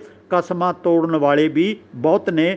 ਇਹ ਸਾਡਾ ਹਿੰਦੂ ਮਤ ਤੋਂ, ਇਸਲਾਮ ਮਤ ਤੋਂ ਅਤੇ ਈਸਾਈ ਮਤ ਤੋਂ ਵੱਖਰੇ ਢੰਗ ਨਾਲ ਵਿਆਹ ਦੀ ਰਸਮ ਲਾਵਾਂ ਦੇ ਨਾਲ ਪ੍ਰਚਲਿਤ ਕੀਤੀ ਗਈ ਹੈ, ਪਰ ਕਾਨੂੰਨੀ ਤੌਰ ਤੇ ਵਿਆਹ ਕਰਾਉਣਾ ਵੀ ਜ਼ਰੂਰੀ ਹੈ ਤੇ ਫਿਰ ਇਹਨੂੰ ਵਫਾਦਾਰੀ ਨਾਲ ਨਿਭਾਉਣਾ ਵੀ ਜ਼ਰੂਰੀ ਹੈ। ਜੇ ਕਿ ਜੇ ਕਿਸ ਕਾਰਨਾ ਕਰਕੇ ਆਪਸ ਵਿੱਚ ਨਾ ਨਿਭਦੀ ਹੋਵੇ, ਤਾਂ ਵੱਡੇ ਕਲੇਸ਼ ਖੜੇ ਕਰਨ ਦੀ ਥਾਂ ਤੇ ਇਮਾਨਦਾਰੀ ਦੇ ਨਾਲ ਦੋਵੇਂ ਧਿਰਾਂ ਆਪਣੀ ਰਜਾਮੰਦੀ ਦੇ ਨਾਲ ਵੱਖਰੇ ਹੋਣ ਦੇ ਕਾਗਜ਼ਾਂ ਦੇ ਉੱਤੇ ਦਸਖਤ ਕਰ ਦੇਣ ਪਰ ਪਰ ਧੱਕਾ ਜਾਤੀ ਕਿਸੇ ਨਾਲ ਕਰਨ ਤੋਂ ਗੁਰੇਜ਼ ਕੀਤਾ ਜਾਵੇ ਅਸੀਂ ਇਸ ਗੱਲ ਨੂੰ ਚੇਤੇ 'ਚ ਰੱਖੀਏ ਕਿ ਅਸੀਂ ਗੁਰੂ ਗ੍ਰੰਥ ਸਾਹਿਬ ਦੀ ਹਜ਼ੂਰੀ 'ਚ ਕਸਮਾਂ ਚੁੱਕੀਆਂ ਸਨ, ਇਕੱਠੇ ਰਹਿਣ ਦੀਆਂ। ਉਹ ਕਸਮਾਂ ਸਾਡੀ ਗਲਤੀ ਦੇ ਕਾਰਨ ਜੇ ਅਸੀਂ ਤੋੜ ਰਹੇ ਹਾਂ, ਤਾਂ ਅਜੇ ਵੀ ਇਮਾਨਦਾਰੀ ਆਪਣੇ ਦਿਮਾਗ 'ਚ ਬਾਕੀ ਰੱਖੀਏ। ਹੈਵਾਨ ਨਾ ਬਣੀਏ, ਜਾਨਵਰਾਂ ਵਰਗਾ, ਪਾਗਲਾਂ ਵਰਗਾ ਵਿਹਾਰ ਨਾ ਕਰੀਏ। ਸਿੱਖਾਂ ਵਾਲਾ ਵਿਹਾਰ, ਚੰਗੇ ਇਨਸਾਨਾਂ ਵਾਲਾ ਵਿਹਾਰ ਆਖਰੀ ਦਮ ਤੱਕ ਕਰਦੇ ਰਹੀਏ। ਸਵਾਲ ਨੰਬਰ 210 ਭਾਈ ਮਨਪ੍ਰੀਤ ਸਿੰਘ ਮਹਿਲਪੁਰ, ਇਹਨਾਂ ਦਾ ਸਵਾਲ ਹੈ ਕਿ ਕਾਰ ਸੇਵਾ ਵਾਲੇ ਬਾਬਿਆਂ ਦਾ ਕੀ ਕਾਰੋਬਾਰ ਹੈ? ਹਜੂਰ ਸਾਹਿਬ ਵਾਲੇ, ਲੰਗਰ ਸਾਹਿਬ ਵਾਲੇ ਬਾਬੇ ਕਿਵੇਂ ਲੋਕਾਂ ਨੂੰ ਲੁੱਟਦੇ ਨੇ? ਇਹਨਾਂ ਦਾ ਸਵਾਲ ਤਾਂ ਆਪਣੇ ਆਪ ਦੇ ਵਿੱਚ ਪਹਿਲਾਂ ਹੀ ਸਾਫ਼ ਹੈ ਕਿ ਇਹਨਾਂ ਦਾ ਬਾਬਿਆਂ ਦਾ ਕੀ ਕਾਰੋਬਾਰ ਹੈ, ਇਹ ਤਾਂ ਹਰ ਇੱਕ ਨੂੰ ਪਤਾ ਅੱਜ ਲੱਗ ਹੀ ਚੁੱਕਿਆ ਪਰ ਫਿਰ ਵੀ ਇਹਨੂੰ ਦੁਬਾਰਾ ਆਪਾਂ ਦੁਹਰਾ ਦਈਏ। ਕਿ ਬਾਬਿਆਂ ਦਾ ਕਾਰੋਬਾਰ ਹੀ ਦੂਜਿਆਂ ਨੂੰ ਕਾਰ ਸੇਵਾ ਦੇ ਨਾਮ ਤੇ ਲੁੱਟਣਾ ਹੈ। ਇਥੋਂ ਤੱਕ ਸਾਡੀਆਂ ਪੁਰਾਤਨ ਜੋ ਯਾਦਾਂ ਸਨ, ਬਹਾਦਰ ਸਿੱਖਾਂ ਨਾਲ ਜੁੜੀਆਂ ਹੋਈਆਂ, ਗੁਰੂ ਸਾਹਿਬ ਨਾਲ ਜੁੜੀਆਂ ਹੋਈਆਂ, ਉਹਨਾਂ ਸਾਰੀਆਂ ਯਾਦਾਂ ਨੂੰ ਨੇਸ਼ ਤੋਂ ਨਾਬੂਦ ਕਰ ਦਿੱਤਾ ਇਹਨਾਂ ਕਾਰ ਸੇਵਾ ਵਾਲੇ ਲੁਟੇਰੇ ਬਾਬਿਆਂ ਨੇ ਉੱਥੇ ਉਹ ਪੁਰਾਣੀਆਂ ਯਾਦਾਂ ਢਾਹ ਕੇ ਸੰਖ ਮਰਮਰ ਚਿੱਟਾ ਪੱਥਰ, ਕਾਲਾ ਪੱਥਰ, ਲਾਲ ਪੱਥਰ ਅਤੇ ਹੋਰ ਪਤਾ ਨਹੀਂ ਕੀ ਕੀ ਇਹਨਾਂ ਨੇ ਨਵੀਆਂ ਇਮਾਰਤਾਂ ਬਣਾਉਣ ਦੇ ਨਾਮ ਤੇ ਕਰੋੜਾਂ ਅਰਬਾਂ ਰੁਪਈਆ ਉੱਥੇ ਲਾ ਦਿੱਤਾ ਹੈ ਤੇ ਕਰੋੜਾਂ ਅਰਬਾਂ ਰੁਪਈਆ ਆਪਣੀਆਂ ਜੇਬਾਂ ਵਿੱਚ ਪਾ ਲਿਆ ਆਪ ਐਸ਼ ਪ੍ਰਸਤੀ ਵਾਲਾ ਜੀਵਨ ਇਹ ਬਤੀਤ ਕਰਦੇ ਨੇ ਕਾਰ ਸੇਵਾ ਦੇ ਨਾਮ ਤੇ। ਇਥੋਂ ਤੱਕ ਕਾਰ ਸੇਵਾ ਦੇ ਨਾਮ ਤੇ ਇੱਕ ਕੰਮ ਨਹੀਂ ਹੋ ਰਿਹਾ। ਕਿਤੇ ਲੰਗਰ ਚੱਲ ਰਹੇ ਨੇ, ਕਿਤੇ ਬਿਲਡਿੰਗਾਂ ਬਣ ਰਹੀਆਂ ਨੇ ਕਾਰ ਸੇਵਾ ਦੇ ਨਾਮ ਤੇ। ਕਿਤੇ ਸਰੋਵਰ ਬਣ ਰਹੇ ਨੇ ਕਾਰ ਸੇਵਾ ਦੇ ਨਾਮ ਤੇ। ਕਿਤੇ ਸਕੂਲ, ਕਾਲਜ ਬਣਾਏ ਜਾ ਰਹੇ ਨੇ ਕਾਰ ਸੇਵਾ ਦੇ ਨਾਮ ਤੇ। ਤੇ ਕਿਤੇ ਹਸਪਤਾਲ ਬਣ ਰਹੇ ਨੇ ਉਹ ਵੀ ਕਾਰ ਸੇਵਾ ਦੇ ਨਾਮ ਤੇ। ਇਹਨਾਂ ਲੋਕਾਂ ਦੀਆਂ ਵੱਡੇ ਵੱਡੇ ਰਾਜਨੀਤੀਵਾਨਾਂ ਨਾਲ ਯਾਰੀਆਂ ਨੇ ਤੇ ਉਹਨਾਂ ਦੇ ਨਾਲ ਰਲ ਮਿਲ ਕੇ ਇਹ ਜ਼ਮੀਨਾਂ ਤੇ ਕਬਜ਼ੇ ਕਰਦੇ ਨੇ, ਉੱਥੇ ਧਰਮ ਸਥਾਨ ਬਣਾਉਂਦੇ ਨੇ, ਆਪਣੇ ਡੇਰੇ ਬਣਾਉਂਦੇ ਨੇ ਅਤੇ ਵੱਡੀਆਂ ਵੱਡੀਆਂ ਲੁੱਟਾਂ ਲੰਮੇ ਸਮੇਂ ਤੱਕ ਕਰਦੇ ਨੇ ਤੇ ਸਾਨੂੰ ਇਹ ਲੁੱਟ ਕੇ ਵੀ ਖਾਂਦੇ ਨੇ, ਕੁਰਾਹੇ ਵੀ ਪਾਉਂਦੇ ਨੇ। ਇਹ ਤਾਂ ਗਰੀਬ ਬੱਚੀਆਂ ਦੇ ਵਿਆਹਾਂ ਦੇ ਨਾਮ ਤੇ ਵੀ ਬਹੁਤ ਕੁਝ ਕਰਦੇ ਨੇ, ਲੋਕਾਂ ਨੂੰ ਲੁੱਟਦੇ ਨੇ। ਇੱਥੋਂ ਤੱਕ ਇਤਿਹਾਸਕ ਗੁਰਦੁਆਰੇ ਜਿਹੜੇ ਵੱਡੇ ਵੱਡੇ ਮਸ਼ਹੂਰ ਗੁਰਦੁਆਰੇ ਨੇ, ਉਹਨਾਂ ਦੀ ਕਾਰ ਸੇਵਾ ਲੈਣ ਵਾਸਤੇ ਕਈ ਸਾਰੇ ਸਾਧ ਸੰਤ ਇਕੱਠੇ ਹੋ ਜਾਂਦੇ ਨੇ ਕਾਰ ਸੇਵਾ ਵਾਲੇ। ਸ਼੍ਰੋਮਣੀ ਗੁਰਦੁਆਰਾ ਪ੍ਰਬੰਧਕ ਕਮੇਟੀ ਜਾਂ ਫਿਰ ਹੋਰ ਕੋਈ ਜ਼ਿੰਮੇਵਾਰ ਬੰਦੇ ਜਿਹੜੇ ਇਹਨਾਂ ਨੂੰ ਉਹ ਕਾਰ ਸੇਵਾ ਦਾ ਸੌਦਾ ਦੇ ਰਹੇ ਹੁੰਦੇ ਨੇ ਕਰਨ ਵਾਸਤੇ ਤੇ ਉਹਨਾਂ ਦੇ ਸਾਹਮਣੇ ਇਹ ਫਿਰ ਬੋਲੀ ਲਾਉਂਦੇ ਨੇ ਕਿ ਮੈਂ ਇਸ ਗੁਰਦੁਆਰੇ ਨੂੰ ਮੁਕੰਮਲ ਕਰਨ ਵਾਸਤੇ ਤੁਹਾਨੂੰ ਵਿੱਚੋਂ ਇੰਨੇ ਲੱਖ ਰੁਪਈਆ ਦੇਵਾਂਗਾ ਭਾਵ ਕਿ ਰਿਸ਼ਵਤ ਦੇ ਰੂਪ ਵਿੱਚ। ਤੁਸੀਂ ਇਹ ਮੈਨੂੰ ਦੇ ਦਿਓ ਸੇਵਾ ਦਾ ਮੌਕਾ ਮੈਂ ਤੁਹਾਨੂੰ ਇੰਨੇ ਲੱਖ ਰੁਪਈਆ ਵਿੱਚੋਂ ਦੇਵਾਂਗਾ। ਦੂਜਾ ਬਾਬਾ ਬੋਲ ਪੈਂਦਾ ਕਿ ਇਹਨੇ ਤਾਂ ਜੀ ਤੁਹਾਨੂੰ ਘੱਟ ਦੇਣਾ ਹੈ, ਮੈਂ ਇਹਦੋਂ 2 ਲੱਖ ਹੋਰ ਵੱਧ ਦਿਆਂਗਾ। ਤੀਜਾ ਬੋਲ ਪੈਂਦਾ ਮੈਂ 4 ਲੱਖ ਵੱਧ ਦਿਆਂਗਾ। ਇਸ ਤਰ੍ਹਾਂ ਗੁਰਦੁਆਰਿਆਂ ਦੀ ਕਾਰ ਸੇਵਾ ਕਰਨ ਦੀ ਵੀ ਬਕਾਇਦਾ ਨਿਲਾਮੀ ਹੁੰਦੀ ਹੈ, ਬੋਲੀ ਲੱਗਦੀ ਹੈ। ਇਹ ਬਹੁਤ ਕੁਝ ਅਖਬਾਰਾਂ 'ਚ ਆ ਚੁੱਕਿਆ ਹੋਇਆ ਹੈ ਤੇ ਉਹ ਫਿਰ ਨਿਲਾਮੀ ਦੇ ਹਿਸਾਬ ਨਾਲ ਪੈਸਾ ਲੈ ਕੇ, ਦੇ ਕੇ ਸਾਰੇ ਸੌਦੇ ਹੁੰਦੇ ਨੇ ਤੇ ਉਪਰੰਤ ਫਿਰ 5 5 ਸਾਲ 10 ਸਾਲ ਤੇ ਕਈ ਕ- ਵਾਰੀ 20 20 ਸਾਲ 25 25 ਸਾਲ ਤੱਕ ਉਹ ਕਾਰ ਸੇਵਾ ਉਸੇ ਤਰ੍ਹਾਂ ਹੀ ਚੱਲਦੀ ਰਹਿੰਦੀ ਹੈ। ਲੋਕਾਂ ਤੋਂ ਪੈਸੇ ਲੁੱਟੇ ਜਾਂਦੇ ਨੇ। ਉਸ ਬਿਲਡਿੰਗ ਤੇ ਪੈਸੇ ਘੱਟ ਲੱਗਦੇ ਨੇ ਤੇ ਆਪਣੀ ਐਸ਼ ਪ੍ਰਸਤੀ ਵਾਸਤੇ ਉਹਨਾਂ ਪੈਸਿਆਂ ਦੀ ਵਰਤੋਂ ਕੀਤੀ ਜਾਂਦੀ ਹੈ। ਇੱਥੋਂ ਤੱਕ ਅਕਾਲ ਤਖਤ ਦੇ ਉੱਤੇ, ਜਿਹੜੀ 1984 ਚ ਅਕਾਲ ਤਖਤ ਢਾ ਦਿੱਤਾ ਗਿਆ ਸੀ, ਸਰਕਾਰ ਨੇ ਆਪ ਕਈ ਕਰੋੜ ਰੁਪਈਆ ਖਰਚ ਕਰਕੇ ਸੰਤਾ ਸਿੰਘ ਨਾਮ ਦੇ ਨਿਹੰਗ ਤੋਂ ਅਤੇ ਹੋਰ ਜਥੇਬੰਦੀਆਂ ਤੋਂ ਉਹ ਮੁਕੰਮਲ ਕਰਵਾ ਦਿੱਤਾ ਸੀ, ਪਰ ਸਾਡੇ ਵਾਲਿਆਂ ਨੇ ਉਸ ਕ- ਅਕਾਲ ਤਖਤ ਨੂੰ ਢਾ ਦਿੱਤਾ ਤੇ ਨਵੇਂ ਸਿਰੋਂ ਕਾਰ ਸੇਵਾ ਦੇ ਰਾਹੀਂ ਉਸ ਅਕਾਲ ਤਖਤ ਨੂੰ ਬਣਾਇਆ ਗਿਆ ਤੇ ਤਕਰੀਬਨ 15 ਸਾਲ ਤੱਕ ਅਕਾਲ ਤਖਤ ਦੀ ਸੇਵਾ, ਕਾਰ ਸੇਵਾ ਚੱਲਦੀ ਰਹੀ ਤੇ ਇਹ ਮੈਂ ਆਪ ਉਸ ਪ੍ਰਬੰਧਕ ਨੂੰ ਜਿਹੜਾ ਉਹਨਾਂ ਦਾ ਉੱਥੇ ਅਕਾਲ ਤਖਤ ਦੀ ਕਾਰ ਸੇਵਾ ਦਾ ਮੁਖੀ ਸੀ 1995 ਦੇ ਵਿੱਚ ਮੈਂ ਆਪ ਉਹਦੇ ਨਾਲ ਗੱਲਬਾਤ ਕਰਕੇ ਪੁੱਛਿਆ ਸੀ ਕਿ ਹੁਣ ਤੱਕ ਤੁਹਾਡੀ ਕਾਰ ਸੇਵਾ ਚੱਲ ਰਹੀ ਹੈ, ਇਹ ਮੁਕੰਮਲ ਕਦੋਂ ਕੁ ਹੋਵੇਗੀ? ਕਹਿਣ ਲੱਗਿਆ, ਕੋਈ ਪਤਾ ਨਹੀਂ ਹੈ। ਮੈਂ ਕਿਹਾ, ਤੇ ਖਰਚਾ ਕਿੰਨਾ ਕੁ ਆ ਗਿਆ? ਕਹਿੰਦਾ 30 ਕਰੋੜ ਰੁਪਈਆ, ਇਹ ਤੇ ਖਰਚਾ ਆ ਚੁੱਕਿਆ 30 ਕਰੋੜ ਰੁਪਈਆ। ਮੈਂ ਕਿਹਾ, ਹੋਰ ਕਿੰਨਾ ਕੁ ਖਰਚਾ ਆਵੇਗਾ? ਕਹਿੰਦਾ, ਹਾਲੇ ਕੋਈ ਪਤਾ ਨਹੀਂ ਹੈ। ਕਿਤਨੀ ਕੀ ਦੇਰ ਤੱਕ ਇਹ ਕਾਰ ਸੇਵਾ ਚੱਲੇਗੀ ਤੇ ਕਿਤਨਾ ਕੁ ਹੋਰ ਪੈਸਾ ਖਰਚਾ ਆਵੇਗਾ, ਕੋਈ ਪੱਕਾ ਪਤਾ ਨਹੀਂ ਹੈ। ਲੋਕੀ ਸੋਨਾ, ਚਾਂਦੀ, ਨਗਦ ਪੈਸਾ ਅਤੇ ਬਹੁਤ ਕੁਝ ਉੱਥੇ ਦਾਨ ਕਰੀ ਜਾਂਦੇ ਸੀ ਤੇ ਉਹ ਪੈਸਾ ਕਾਰ ਸੇਵਾ ਦੇ ਨਾਮ ਤੇ ਆਪੋ ਆਪਣੇ ਢਿੱਡਾਂ 'ਚ ਪਈ ਜਾਂਦਾ ਸੀ ਤੇ ਤਕਰੀਬਨ 15 16 ਸਾਲਾਂ ਤੋਂ ਬਾਅਦ ਉਸ ਅਕਾਲ ਤਖਤ ਦੀ ਸੇਵਾ ਕਹਿੰਦੇ ਨੇ ਪੂਰੀ ਕੀਤੀ ਗਈ ਹੈ। ਕਦੀ ਅੰਦਾਜ਼ਾ ਲਾ ਕੇ ਵੇਖੋ ਕਿ 30 32 ਕਰੋੜ ਰੁਪਈਆ ਉਸ ਬਿਲਡਿੰਗ ਤੇ ਖਰਚ ਹੋ ਸਕਦਾ ਹੈ। ਬਾਕੀ ਵੀ ਇਸੇ ਤਰ੍ਹਾਂ ਹੀ ਹੈ। ਤੇ ਸਰਦਾਰ ਕੁਲਵੀਰ ਸਿੰਘ ਕੌੜਾ ਨੇ ਆਪਣੀ ਕਿਤਾਬ ਤੇ ਸਿੱਖ ਵੀ ਨਿਕਲਿਆ ਗਿਆ। ਉਹਦੇ ਵਿੱਚ ਵੀ ਇਹੋ ਜਿਹੇ ਕੌੜੇ ਸੱਚ ਬਿਆਨ ਕੀਤੇ ਹੋਏ ਨੇ ਕਿ ਕਿਵੇਂ ਇਹ ਸਾਧ ਸੰਤ ਕਾਰ ਸੇਵਾ ਦੇ ਨਾਮ ਤੇ ਲੋਕਾਂ ਨੂੰ ਲੁੱਟ ਰਹੇ ਨੇ, ਪੁਰਾਣੀਆਂ ਯਾਦਾਂ ਢਾ ਰਹੇ ਨੇ ਤੇ ਆਪਣੇ ਗੋਗੜਾ ਭਰ ਰਹੇ ਨੇ, ਮਹਿੰਗੀਆਂ ਕਾਰਾਂ ਤੇ ਹੂਟੇ ਲੈ ਰਹੇ ਨੇ ਤੇ ਕਿੰਨੇ ਸਾਰੇ ਨਾਲ ਕਾਰ ਸੇਵਕ ਨੌਜਵਾਨ ਰੱਖੇ ਹੋਏ ਨੇ। ਅੰਦਰ ਖਾਤੇ ਕਿੰਨਾ ਕੁਝ ਹੁੰਦਾ ਹੈ, ਇਹ ਬਹੁਤ ਸ਼ਰਮਨਾਕ ਹੈ, ਜਿਹੜਾ ਕਿ ਬਿਆਨ ਤੋਂ ਵੀ ਬਾਹਰ ਹੈ। ਇਸ ਕਾਰ ਸੇਵਾ ਦੇ ਨਾਂ ਤੇ ਭਾਵੇਂ ਉਹ ਹਜੂਰ ਸਾਹਿਬ ਵਾਲੀ ਹੈ ਤੇ ਭਾਵੇਂ ਪਟਨਾ ਸਾਹਿਬ ਵਾਲੀ ਹੈ, ਭਾਵੇਂ ਕਿਸੇ ਹੋਰ ਥਾਂ ਵਾਲੀ ਹੈ ਤੇ ਉਸ ਕਾਰ ਸੇਵਾ ਨੂੰ ਸ਼੍ਰੋਮਣੀ ਗੁਰਦੁਆਰਾ ਪ੍ਰਬੰਧਕ ਕਮੇਟੀ ਖੁਦ ਕਿਉਂ ਨਹੀਂ ਕਰਦੀ? ਨਿਲਾਮ ਕਰਕੇ ਲੋਕਾਂ ਨੂੰ ਕਿਉਂ ਦਿੰਦੀ ਹੈ? ਹੁਣ ਤਾਂ ਦੂਜਾ ਪੱਖ ਇਹ ਵੀ ਆਪਾਂ ਸਾਹਮਣੇ ਲਿਆਈਏ ਕਿ ਸ਼੍ਰੋਮਣੀ ਕਮੇਟੀ ਦੇ ਅੰਦਰ ਵੀ ਵੱਡੇ ਵੱਡੇ ਘਪਲੇ ਹੁੰਦੇ ਨੇ ਤੇ ਉਹਨਾਂ ਘਪਲਿਆਂ ਦਾ ਅਖਬਾਰਾਂ 'ਚ ਕੁਝ ਸਮਾਂ ਸ਼ੋਰ ਮਚਦਾ ਹੈ ਤੇ ਬਾਅਦ ਦੇ ਵਿੱਚ ਗੱਲ ਠੰਡੀ ਹੋ ਜਾਂਦੀ ਹੈ।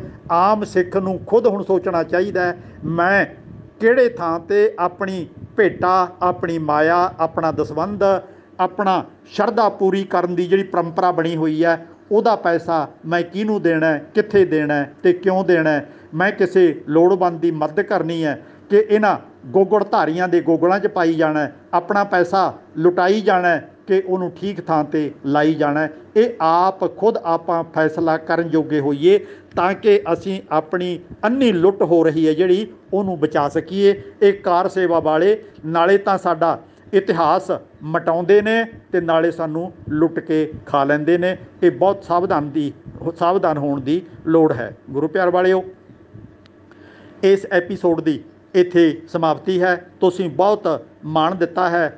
ਇਸ ਐਪੀਸੋਡ ਨੂੰ ਤੁਸੀਂ ਬਹੁਤ ਪਸੰਦ ਕਰ ਰਹੇ ਹੋ। ਭਾਵ ਕਿ ਸਵਾਲ ਜਵਾਬ ਵਾਲੇ ਜੋ ਚੱਲ ਰਹੇ ਨੇ ਤੇ ਇਹਨਾਂ ਦੇ ਰਾਹੀਂ ਤਰ੍ਹਾਂ ਤਰ੍ਹਾਂ ਦੇ ਸਵਾਲ ਨੌਜਵਾਨ ਪੁੱਛਦੇ ਨੇ। ਤੇ ਪਰ ਇੰਨੀ ਕੁ ਮੇਰੀ ਬੇਨਤੀ ਹੈ, ਸਵਾਲ ਕਿਸੇ ਢੰਗ ਤਰੀਕੇ ਨਾਲ ਇਸ ਤਰ੍ਹਾਂ ਪੁੱਛੇ ਜਾਣ, ਜਿਹੜੇ ਕਿ ਗੁਰਬਾਣੀ ਨਾਲ, ਇਤਿਹਾਸ ਨਾਲ, ਸਾਡੀ ਰਹਿਤ ਮਰਿਆਦਾ ਨਾਲ, ਸਾਡੀ ਸਭਿਅਤਾ ਨਾਲ ਤੇ ਜਾਂ ਫਿਰ ਕੋਈ ਅਜਿਹਾ ਗਿਆਨ ਹੋਵੇ ਜਿਹੜਾ ਸਾਡੇ ਇਨਸਾਨੀ ਦੇ ਨਾਤੇ ਜ਼ਿੰਦਗੀ 'ਚ ਕੰਮ ਆਉਣ ਵਾਲਾ ਹੋਵੇ ਤੇ ਉਹ ਸਾਰੇ ਸਵਾਲ ਆਪਾਂ ਪੁੱਛ ਸਕਦੇ ਹਾਂ। ਜਿੰਨੀ ਕੁ ਮੈਨੂੰ ਸਮਝ ਹੈ, ਮੈਂ ਉਹਨਾਂ ਦੇ ਜਵਾਬ ਦੇਣ ਦਾ ਯਤਨ ਕਰਾਂਗਾ। ਇਤਨੇ ਇੱਕ ਬਚਨ ਪ੍ਰਵਾਨ ਕਰਨਾ। ਬਾਕੀ ਫਿਰ ਅਗਲੇ ਐਪੀਸੋਡ 'ਚ ਮਿਲਾਂਗੇ। ਭੁੱਲਾਂ ਚੁੱਕਾਂ ਲਈ ਖਿਮਾ। ਵਾਹਿਗੁਰੂ ਜੀ ਕਾ ਖਾਲਸਾ, ਵਾਹਿਗੁਰੂ ਜੀ ਕੀ ਫਤਿਹ।